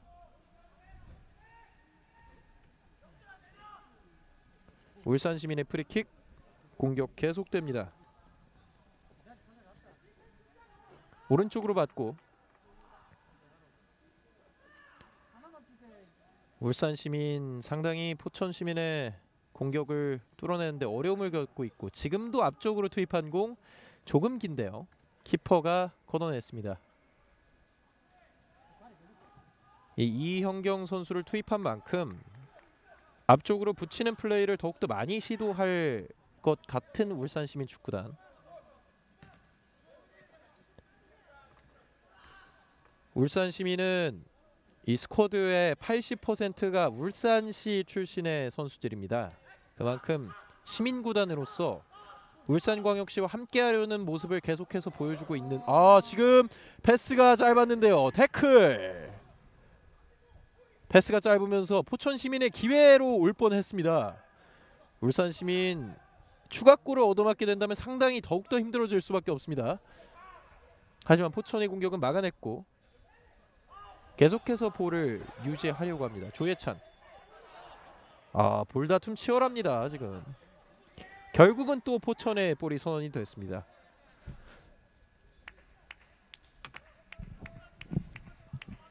네, 앞에서 말씀드린 것처럼 울산 광역시와의 이런 친밀함을 계속해서 유지하려고 노력하고 있는 울산 시민 축구단. 하지만 이번 시, 이번 시즌 들어서 첫 번째 홈 경기 패배를 직면할 수도 있는 위기 상황에 왔습니다. 김영준 선수의 모습이 보였죠. 뭐 계속해서 말씀드리지만 현재 득점왕 경쟁을 펼치고 있는 세 골의 김영준 선수. 또 이제 선제골에 어느 정도 기여를 하기, 하기도 했던 김영준. 네, 포천 계속해서 공격을 시도합니다. 조한 선수가 넘어졌습니다. 조한 선수도 교체 투입되고 나서 상당히 몸놀림이 가벼워 보입니다. 이번에는 피파울을 얻어내기도 했고 상당히 적극적인 모습을 보여주는 조한.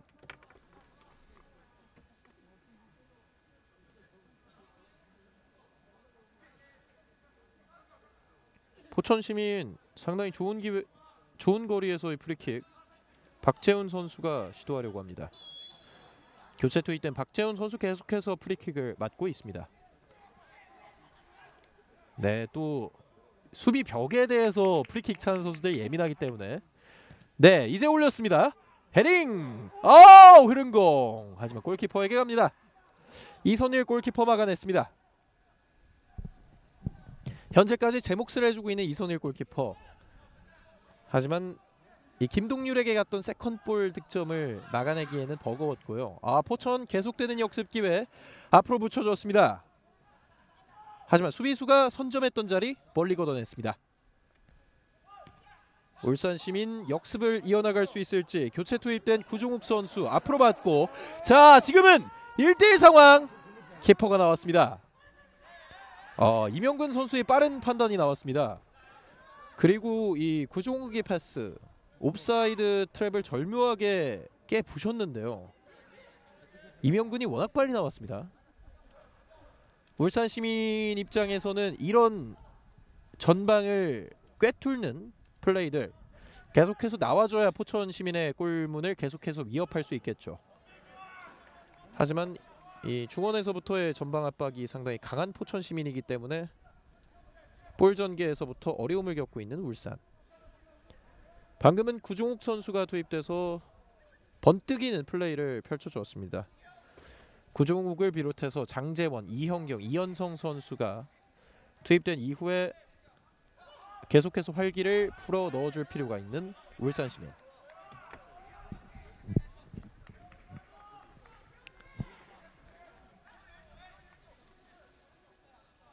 민훈기가 스로인을 준비하고 네 역시 앞쪽으로 이렇게 붙여주는 플레이가 이영경을 보는 플레이가 단순하지만 그만큼 막강합니다 이런 플레이들 노릴 필요가 있겠고 올려줬습니다. 네 second ball은 울산에게 갑니다. 울산.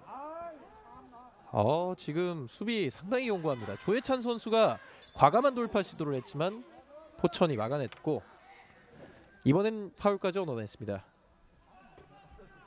조예찬 선수를 비롯해서 박진포 선수, 박동혁, 민훈기 등 울산 시민의 많은 선수들이 K3 리그에서 보기 힘든 단연 계약을 체결했습니다. 보통 K3 리그에선 단연 계약을 많이 체결하지 않고 단기 계약을 선호하는데 울산 시민에서 이러한 이 K3 리그에게 귀감이 되는 또 설레를 K3 리그에서 찾기 힘든 단연 계약들을 많이 맺으면서 어, 이 상당히 획기적인 모습을 보여줬습니다. 네, 지금 뒤에서의 패스 약간 위험했고 이명근 선수도 급하게 걷어내느니라 약간 부정확했습니다.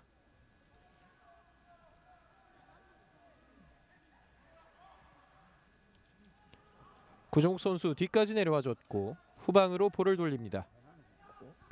어쨌든 울산 시민 입장에서는 나름 고무적인 기- 것이 구종욱 선수가 볼을 만지는 횟수가 많다는 것입니다. 또 이영경 선수도 방금 저렇게 위협적으로 계속해서 볼다툼을 해주고 있고 결국은 교체 투입된 선수들이 울산 시민 공격이 키가 아닐까. 자 앞에서 지금은 의도적으로 끊었습니다. 오늘 경기 첫 번째 옐로 카드가 나왔습니다. 네. 포천 시민의 캡틴 김태은 선수로 보이는데요. 지금은 중원에서 탈압박을 했다면 상당히 공간이 많이 열렸기 때문에 의도적으로 역습 기회를 차단했다라는 주심의 판단이 있었습니다. 올려준 볼 계속해서 걷어내는 포천. 자 탈압박을 해냅니다. 올라갈 수 있을지 하지만 지금은 휘슬이 울렸습니다. 조한 선수 교체 투입되고 상당히 에너제틱한 모습을 보여줍니다. 지금은 강하게 충돌해서 통증을 느끼고 있는데요. 네 여기서 어우 김재현 선수와 크게 부딪혔습니다. 조한 선수 계속해서 파울을 얻어내면서 포천 시민의 역습을 현재까지는 책임지고 있습니다. 또 조커 카드로 들어와서 후반전에 이렇게 잘해준다면 감독 입장에선 기쁠 수밖에 없죠. 멀리 찼습니다. 붙여주는 볼 울산 시민이 걷어냈습니다. 민훈기가 걷어냈고 네 지금은 선수 한 명이 신발끈을 묶고 있습니다. 신발끈은 또 묶어줘야죠. 김동률 선수를 비춰주는 카메라입니다. 김동률 선수 과연 또 추가골을 넣을 수 있을지 포천 시민의 귀중한 선제골을 득점했던 김동률 선수에게도 스포트라이트가 지금까지는 쏠리고 있고요. 박재훈이 오른쪽에서 코너킥을 준비하고 있습니다. 박재훈 손을 높이 들고 올려주었습니다. 걷어냈습니다. 공은 포천 시민에게 오른쪽을 봤습니다. 다시 올려줄 수 있습니다. 크로스 울산 한 번 더 걷어냅니다.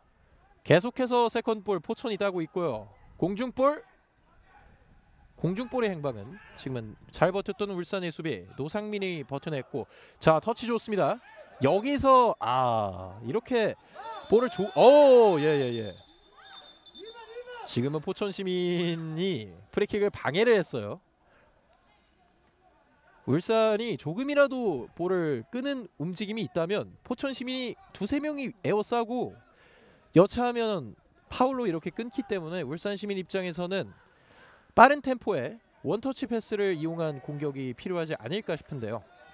아직까진 잘 나오지 않고 있고 민훈기 선수의 패스 미스가 있었습니다.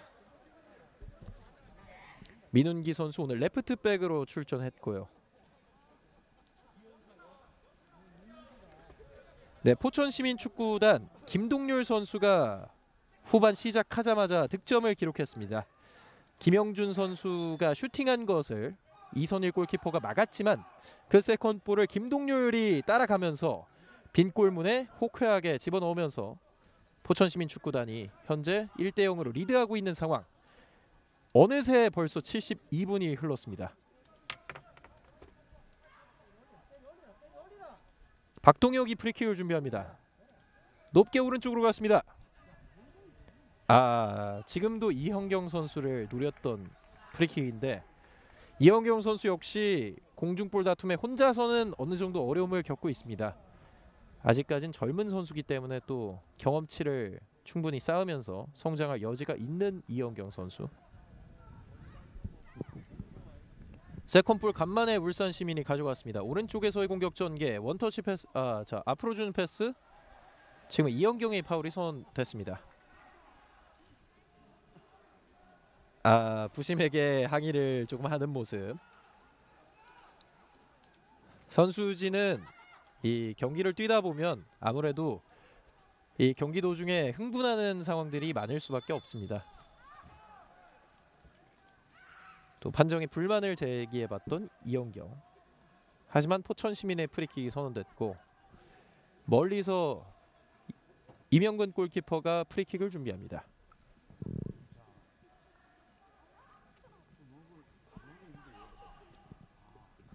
세컨볼 다시 한번 치료하지만 포천 시민이 따냈습니다. 자 조한 하지만 볼을 아 그대로 슈팅. 김영준 선수죠. 김영준 선수가 확실히 예기치 못한 타이밍에 어떻게든 슈팅을 해냅니다. 이게 골잡이로서의 기본 덕목이 아닐까 싶은데 포천의 선제골도 김영준의 슈팅으로부터 시작이 됐고 김영주 선수 어떤 위치에서든 어떤 왼발이든 오른발이든 가리지 않고 저렇게 슈팅을 만들어낼 수 있기 때문에 계속해서 어, 좋은 득점 감각을 이어가고 있지 않을까 싶습니다. 김영준 선수는 포천 시민에서 가장 주목하는 선수 중 한 명인데 이 인터뷰에서 본인이 대한민국의 제이미 바디가 되고 싶다 이런 얘기를 했습니다. 아 지금 선수 한 명이 넘어져 있습니다. 포천 시민의 선수 상당히 고통스러워하면서 넘어져 있는데요. 아 어떤 상황일까요? 네, 김태현 선수가 등을 잡고 있습니다. 등 허리 쪽에 부상인가요? 오늘 계속해서 포천의 철벽 수비진을 이끌었던 김태현. 아 지금은 이영경 선수와 엉키면서 등 쪽으로 넘어졌습니다. 하지만 다행히 잘 일어났고 이형경의 파울이 선언됐습니다. 네, 계속해서 김영준 선수 얘기를 해드리자면 메탄고 이 수원 삼성의 그런 전신인 메탄 고등학교에 상당히 촉망받는 유망주였는데 어, 장기 부상을 당하고 독립구단에서 몸을 불, 키우다가 K3 리그 포천 시민으로 오게 됐습니다. 자, 지금은 어드밴티지 선언됐습니다. 오른쪽에서 간만에 울산의 기회 넘어졌는데요. 아, 지금은 오히려 울산 시민의 파울이 선언됐습니다. 자, 울산 시민 후반전에 상당히 강력한 좋은 기회를 얻었었는데 지금도 과감한 돌파에서 이어졌습니다만 오히려 주심은 울산 시민의 파울을 선언했습니다. 자 포천의 선수진이 뭔가 주심에게 단체로 얘기를 하는 모습이 있었고요. 자 울산 시민에서 한 명이 넘어졌거든요. 페널티 박스 안에서 넘어졌지만 오히려 포천 시민이 파울을 당했다고 이혁재 주심은 선언했습니다. 이런 과감한 돌파가 있어야 울산 시민이 동점골 그리고 동점골을 넘어 역전골까지 바랄 수 있을 텐데요. 여전히 계속해서 강력한 수비를 보여주는 포천 시민. 자, 볼다툼 계속해서 치열합니다. 양팀 선수들 77분이 지나는 상황에서도 지친 기색을 보이지 않습니다. 체력도 체력이지만 정말 대단한 정신력과 이번 시즌 2승에 대한 열망이 그만큼 선수들을 이렇게 열심히 뛰게 만드는 게 아닌가 싶은데요. 이영경을 노렸고 이영경 가슴 트래핑 이후에 자 띄워줬습니다. 어 지금 네 어 지금 벗어났습니다. 아 수비수와 골키퍼 간의 커뮤니케이션 미스가 있었고요. 아 구종욱 선수에게 결정적인 기회가 왔습니다. 다시 보시죠. 여기서 양팀 선수가 밀었고 구종욱이 발을 갖다 댔습니다만 골대를 살짝 벗어났습니다. 지금 키퍼와 수비수 간의 호흡이 맞지 않았고 결정적인 기회가 있던 울산 시민 하지만 구종욱이 살리진 못했습니다. 코너킥 상황 직접 올렸습니다. 헤더 걷어냈고 오른쪽으로 봤습니다. 바로 올렸습니다. 헤딩 경합 박스 밖으로 하지만 볼은 울산 시민에게 후반 골키퍼에게 공을 주면서 울산 시민도 펜, 템포를 조절하고 있습니다.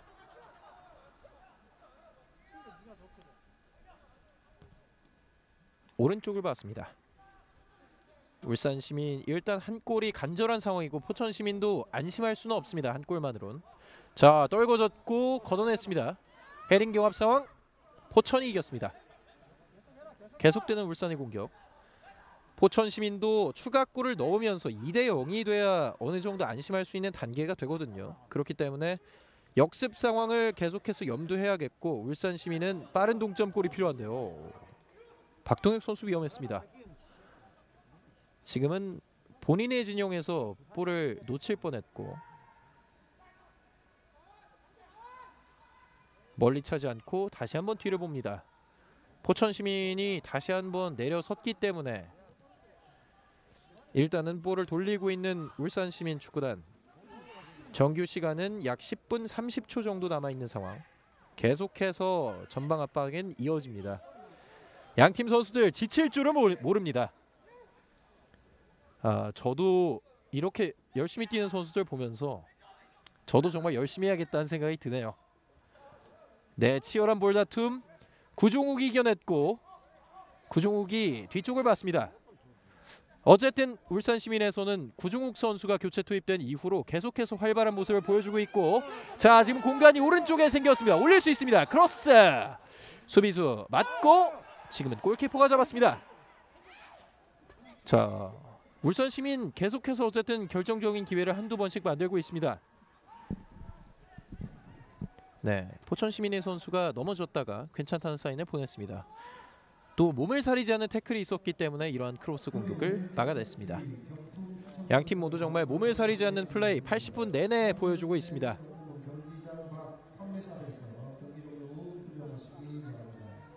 왼쪽에서 공격을 이어나가려고 하고 있습니다. 이규로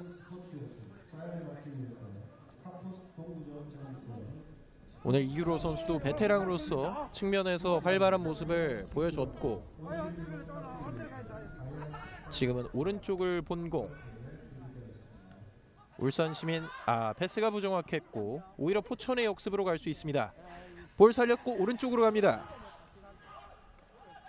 자 조한 계속해서 활발한 모습 보여준 조한 뒤쪽을 받고 조한 조한 받고 자 지금 1대1 상황 이 될 뻔했습니다. 하지만 김영준 선수의 터치 미스 수비수에 맞고 한번 굴절이 됐기 때문에 이 완벽한 터치를 가져가기엔 조금 힘들었고 결국은 김영준 터, 패, 선수의 터치가 길게 가게 됐습니다. 왼쪽을 봤습니다. 민훈기 조금 더 띄워줘야 하는 울산 시민의 선수단 동점골을 위해서 힘을 내고 있고 포천 시민 축구단은 끝까지 막으면서 호시탐탐 역습을 노리고 있습니다. 자 볼을 달고 갑니다. 박동혁. 박동혁 이렇게 센터백으로 내려왔고요. 후반부터는 또 유사시 아 네 지금 원터치 패스 걸렸고 계속해서 하지만 볼은 포천 시민이 역습을 이어갈 수 있을까요? 오른쪽으로 크게 봤습니다. 연결될 수 있을지 하지만 조금 길었습니다. 끝까지 따라갔던 이광재 하지만 민훈기가 걷어냈습니다. 아 민훈기가 아니었죠? 네 우선 볼이 나갔다는 판정. 아 지금 이광재 선수가 넘어져 있는 것 같습니다. 포천 시민 선수단이 오늘 많이 넘어지고 있습니다. 다리 쪽에 통증을 느끼고 있는 것으로 보이는데요. 또 울산 시민 선수들 마음이 급하기 때문에 빨리 일어나라고 재촉을 하기도 했었는데 자 통증을 느끼고 있는 것 같습니다. 어쨌든 양 팀 선수들 경기 끝날 때까지 부상이 없었으면 좋겠습니다. 네, 우선은 이광재 선수는 이 터치라인 바로 밖에서 치료를 받고 있고 경기는 재개됩니다. 포천 공을 잡지 못하면서 울산 시민의 프리킥 골킥입니다.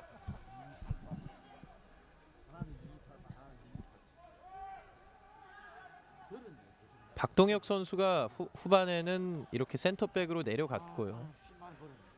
또 급해진다면 박동혁 선수를 최전방 스트라이커로 올릴 수도 있기 때문에 여차해서 후반 막판이 된다면 그러한 시도를 할 수도 있습니다. 이영경을 또 겨냥했고 구종욱 아 네.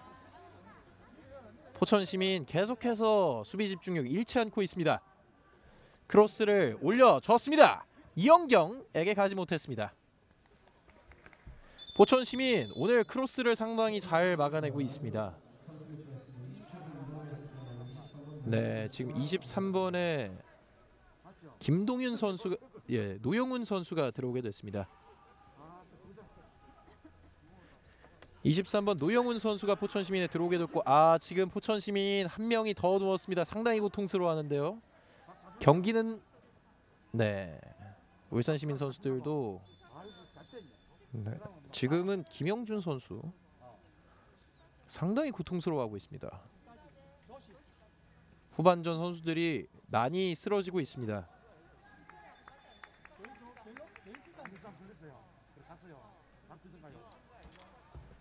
네, 다행히 선수는 일어났고 포천 시민이 뒤쪽으로 공을 전달해 줬습니다. 승리도 중요하지만 다치지 않는 것 그리고 페어플레이도 상당히 축구계에선 중요하겠죠. 자 앞쪽을 봤습니다만 걸리진 않았습니다. 계속해서 구종욱 쪽 공격을 시도하고 있습니다. 구종욱과 이영경에게 붙이는 플레이를 시도하고 있는 울산 시민 하지만 포천 시민 집중력을 잃지 않고 있습니다. 네 조혜찬이 받아서 오른쪽으로 아 포천은 지치는 기색이 안 보입니다. 태클로 터치라인 밖으로 나갔고 노상민 선수가 스로인을 준비합니다. 조혜찬에게 울산 시민 일단 필요한 건 한 골입니다. 한 골만 들어가게 되면 동점이거든요. 하지만 아직까지는 만들어내지 못하고 있고 포천 시민도 단단히 틀어막고 있습니다. 계속해서 이영경 쪽을 받고 아 구종욱이 터치하지 못했습니다. 선수진이 따라갔지만 골키퍼가 잡았습니다. 이영경을 붙이 이영경에게 붙이는 시도는 어쨌든 이렇게 시간이 많이 남지 않았을 때 꽤 좋은 효과를 불러일으킬 수 있지만 다른 공격 패턴 역시 필요한 울산 시민. 어 계속해서 측면 그리고 중원에서 정말 볼다툼이 치열합니다. 제가 이 말을 몇 번 하는지 모르겠는데 계속해서 치열합니다. 양 팀 총 합쳐서 한 6, 7명 되는 선수들이 볼 하나를 탈취하기 위해서 중원에서 정말 이렇게부터 전방 압박 아, 정말 치열합니다. 비록 슈팅은 많이 나오지 않았지만 이러한 치열함에서 상당히 재미를 느낄 수 있는 지금까지의 경기 어느덧 정규 시간도 5분 이하로 넘어갑니다. 87분을 향해 가고 있는 시계. 그리고 포천 시민이 1대 0으로 홈팀 울산 시민에게 앞서 있습니다. 다시 한번 이영경을 노렸고 이영경 일단은 버텨냈습니다. 뒤쪽에서 또다시 3명이 달라붙어요. 자 조혜찬 선수도 게- 뭐 계속해서 볼을 잘 지켜주고 있긴 하지만 정말 이 볼을 이어가기에 성가실 것 같습니다. 지금까지는 포천 시민의 이런 끈적한 전방 압박이 계속해서 효과를 보고 있습니다. 조만근 감독이 상당히 준비를 잘 해온 부분인 것 같고요. 멀리서 크로스를 올려줍니다. 이영경 쪽을 봤지만 이영경 쪽에도 네다섯 명의 선수가 있습니다. 멀리 걷어냈고 울산 시민 다시 한번 공격을 재조립해야 합니다. 계속해서 멀리 붙여주고 있습니다. 다시 한번 이현경 쪽 세컨볼 포천이 따냈고 멀리 걷어냈습니다. 네 경기 종료 때까지 계속해서 이런 분위기가 이어지지 않을까 싶은데요. 네 지금도 김재현 선수가 다시 한번 붙입니다. 네 끈질기게 이영경 쪽을 받고 구종욱에게 왔고 오른쪽에서 걷어냈고 아 지금 슛 골! 동점골! 동점골을 따내는 것은 16번의 울산의 이현성이었습니다. 울산의 이현성 교체 투입되면서 득점을 이끌어냈습니다. 여기서 맞은 공. 자 이현겨 이현성이 이번에도 세컨볼에서 집중력을 이어갔습니다.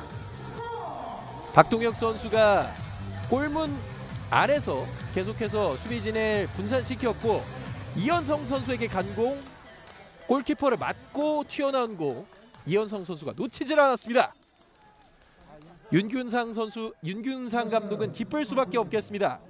후반전 교체 투입이 적중됐기 때문에 1대1 울산 시민이 동점으로 만들었습니다.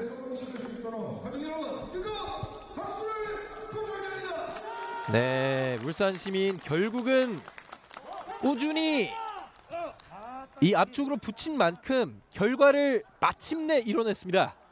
그리고 추가 시간은 3분이 주어졌습니다. 자, 이렇게 된다면 경기 어떻게 될지 모르죠. 약 3분의 시간 동안 어떤 팀이 결승골을 넣게 될 수도 있고요. 충분한 시간입니다. 자, 붙여줬고 울산 시민 탄력을 받을 수 있을지 구종욱 왼쪽으로 줬고 슈팅 들어갔습니다.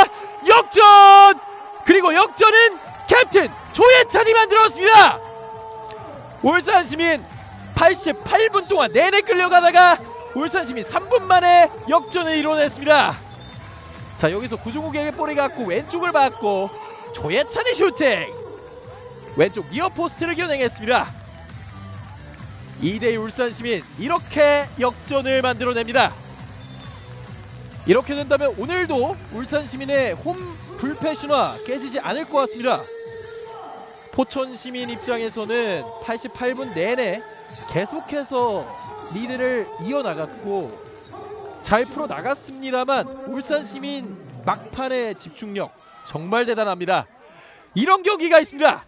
2대1 울산 시민 축구단입니다.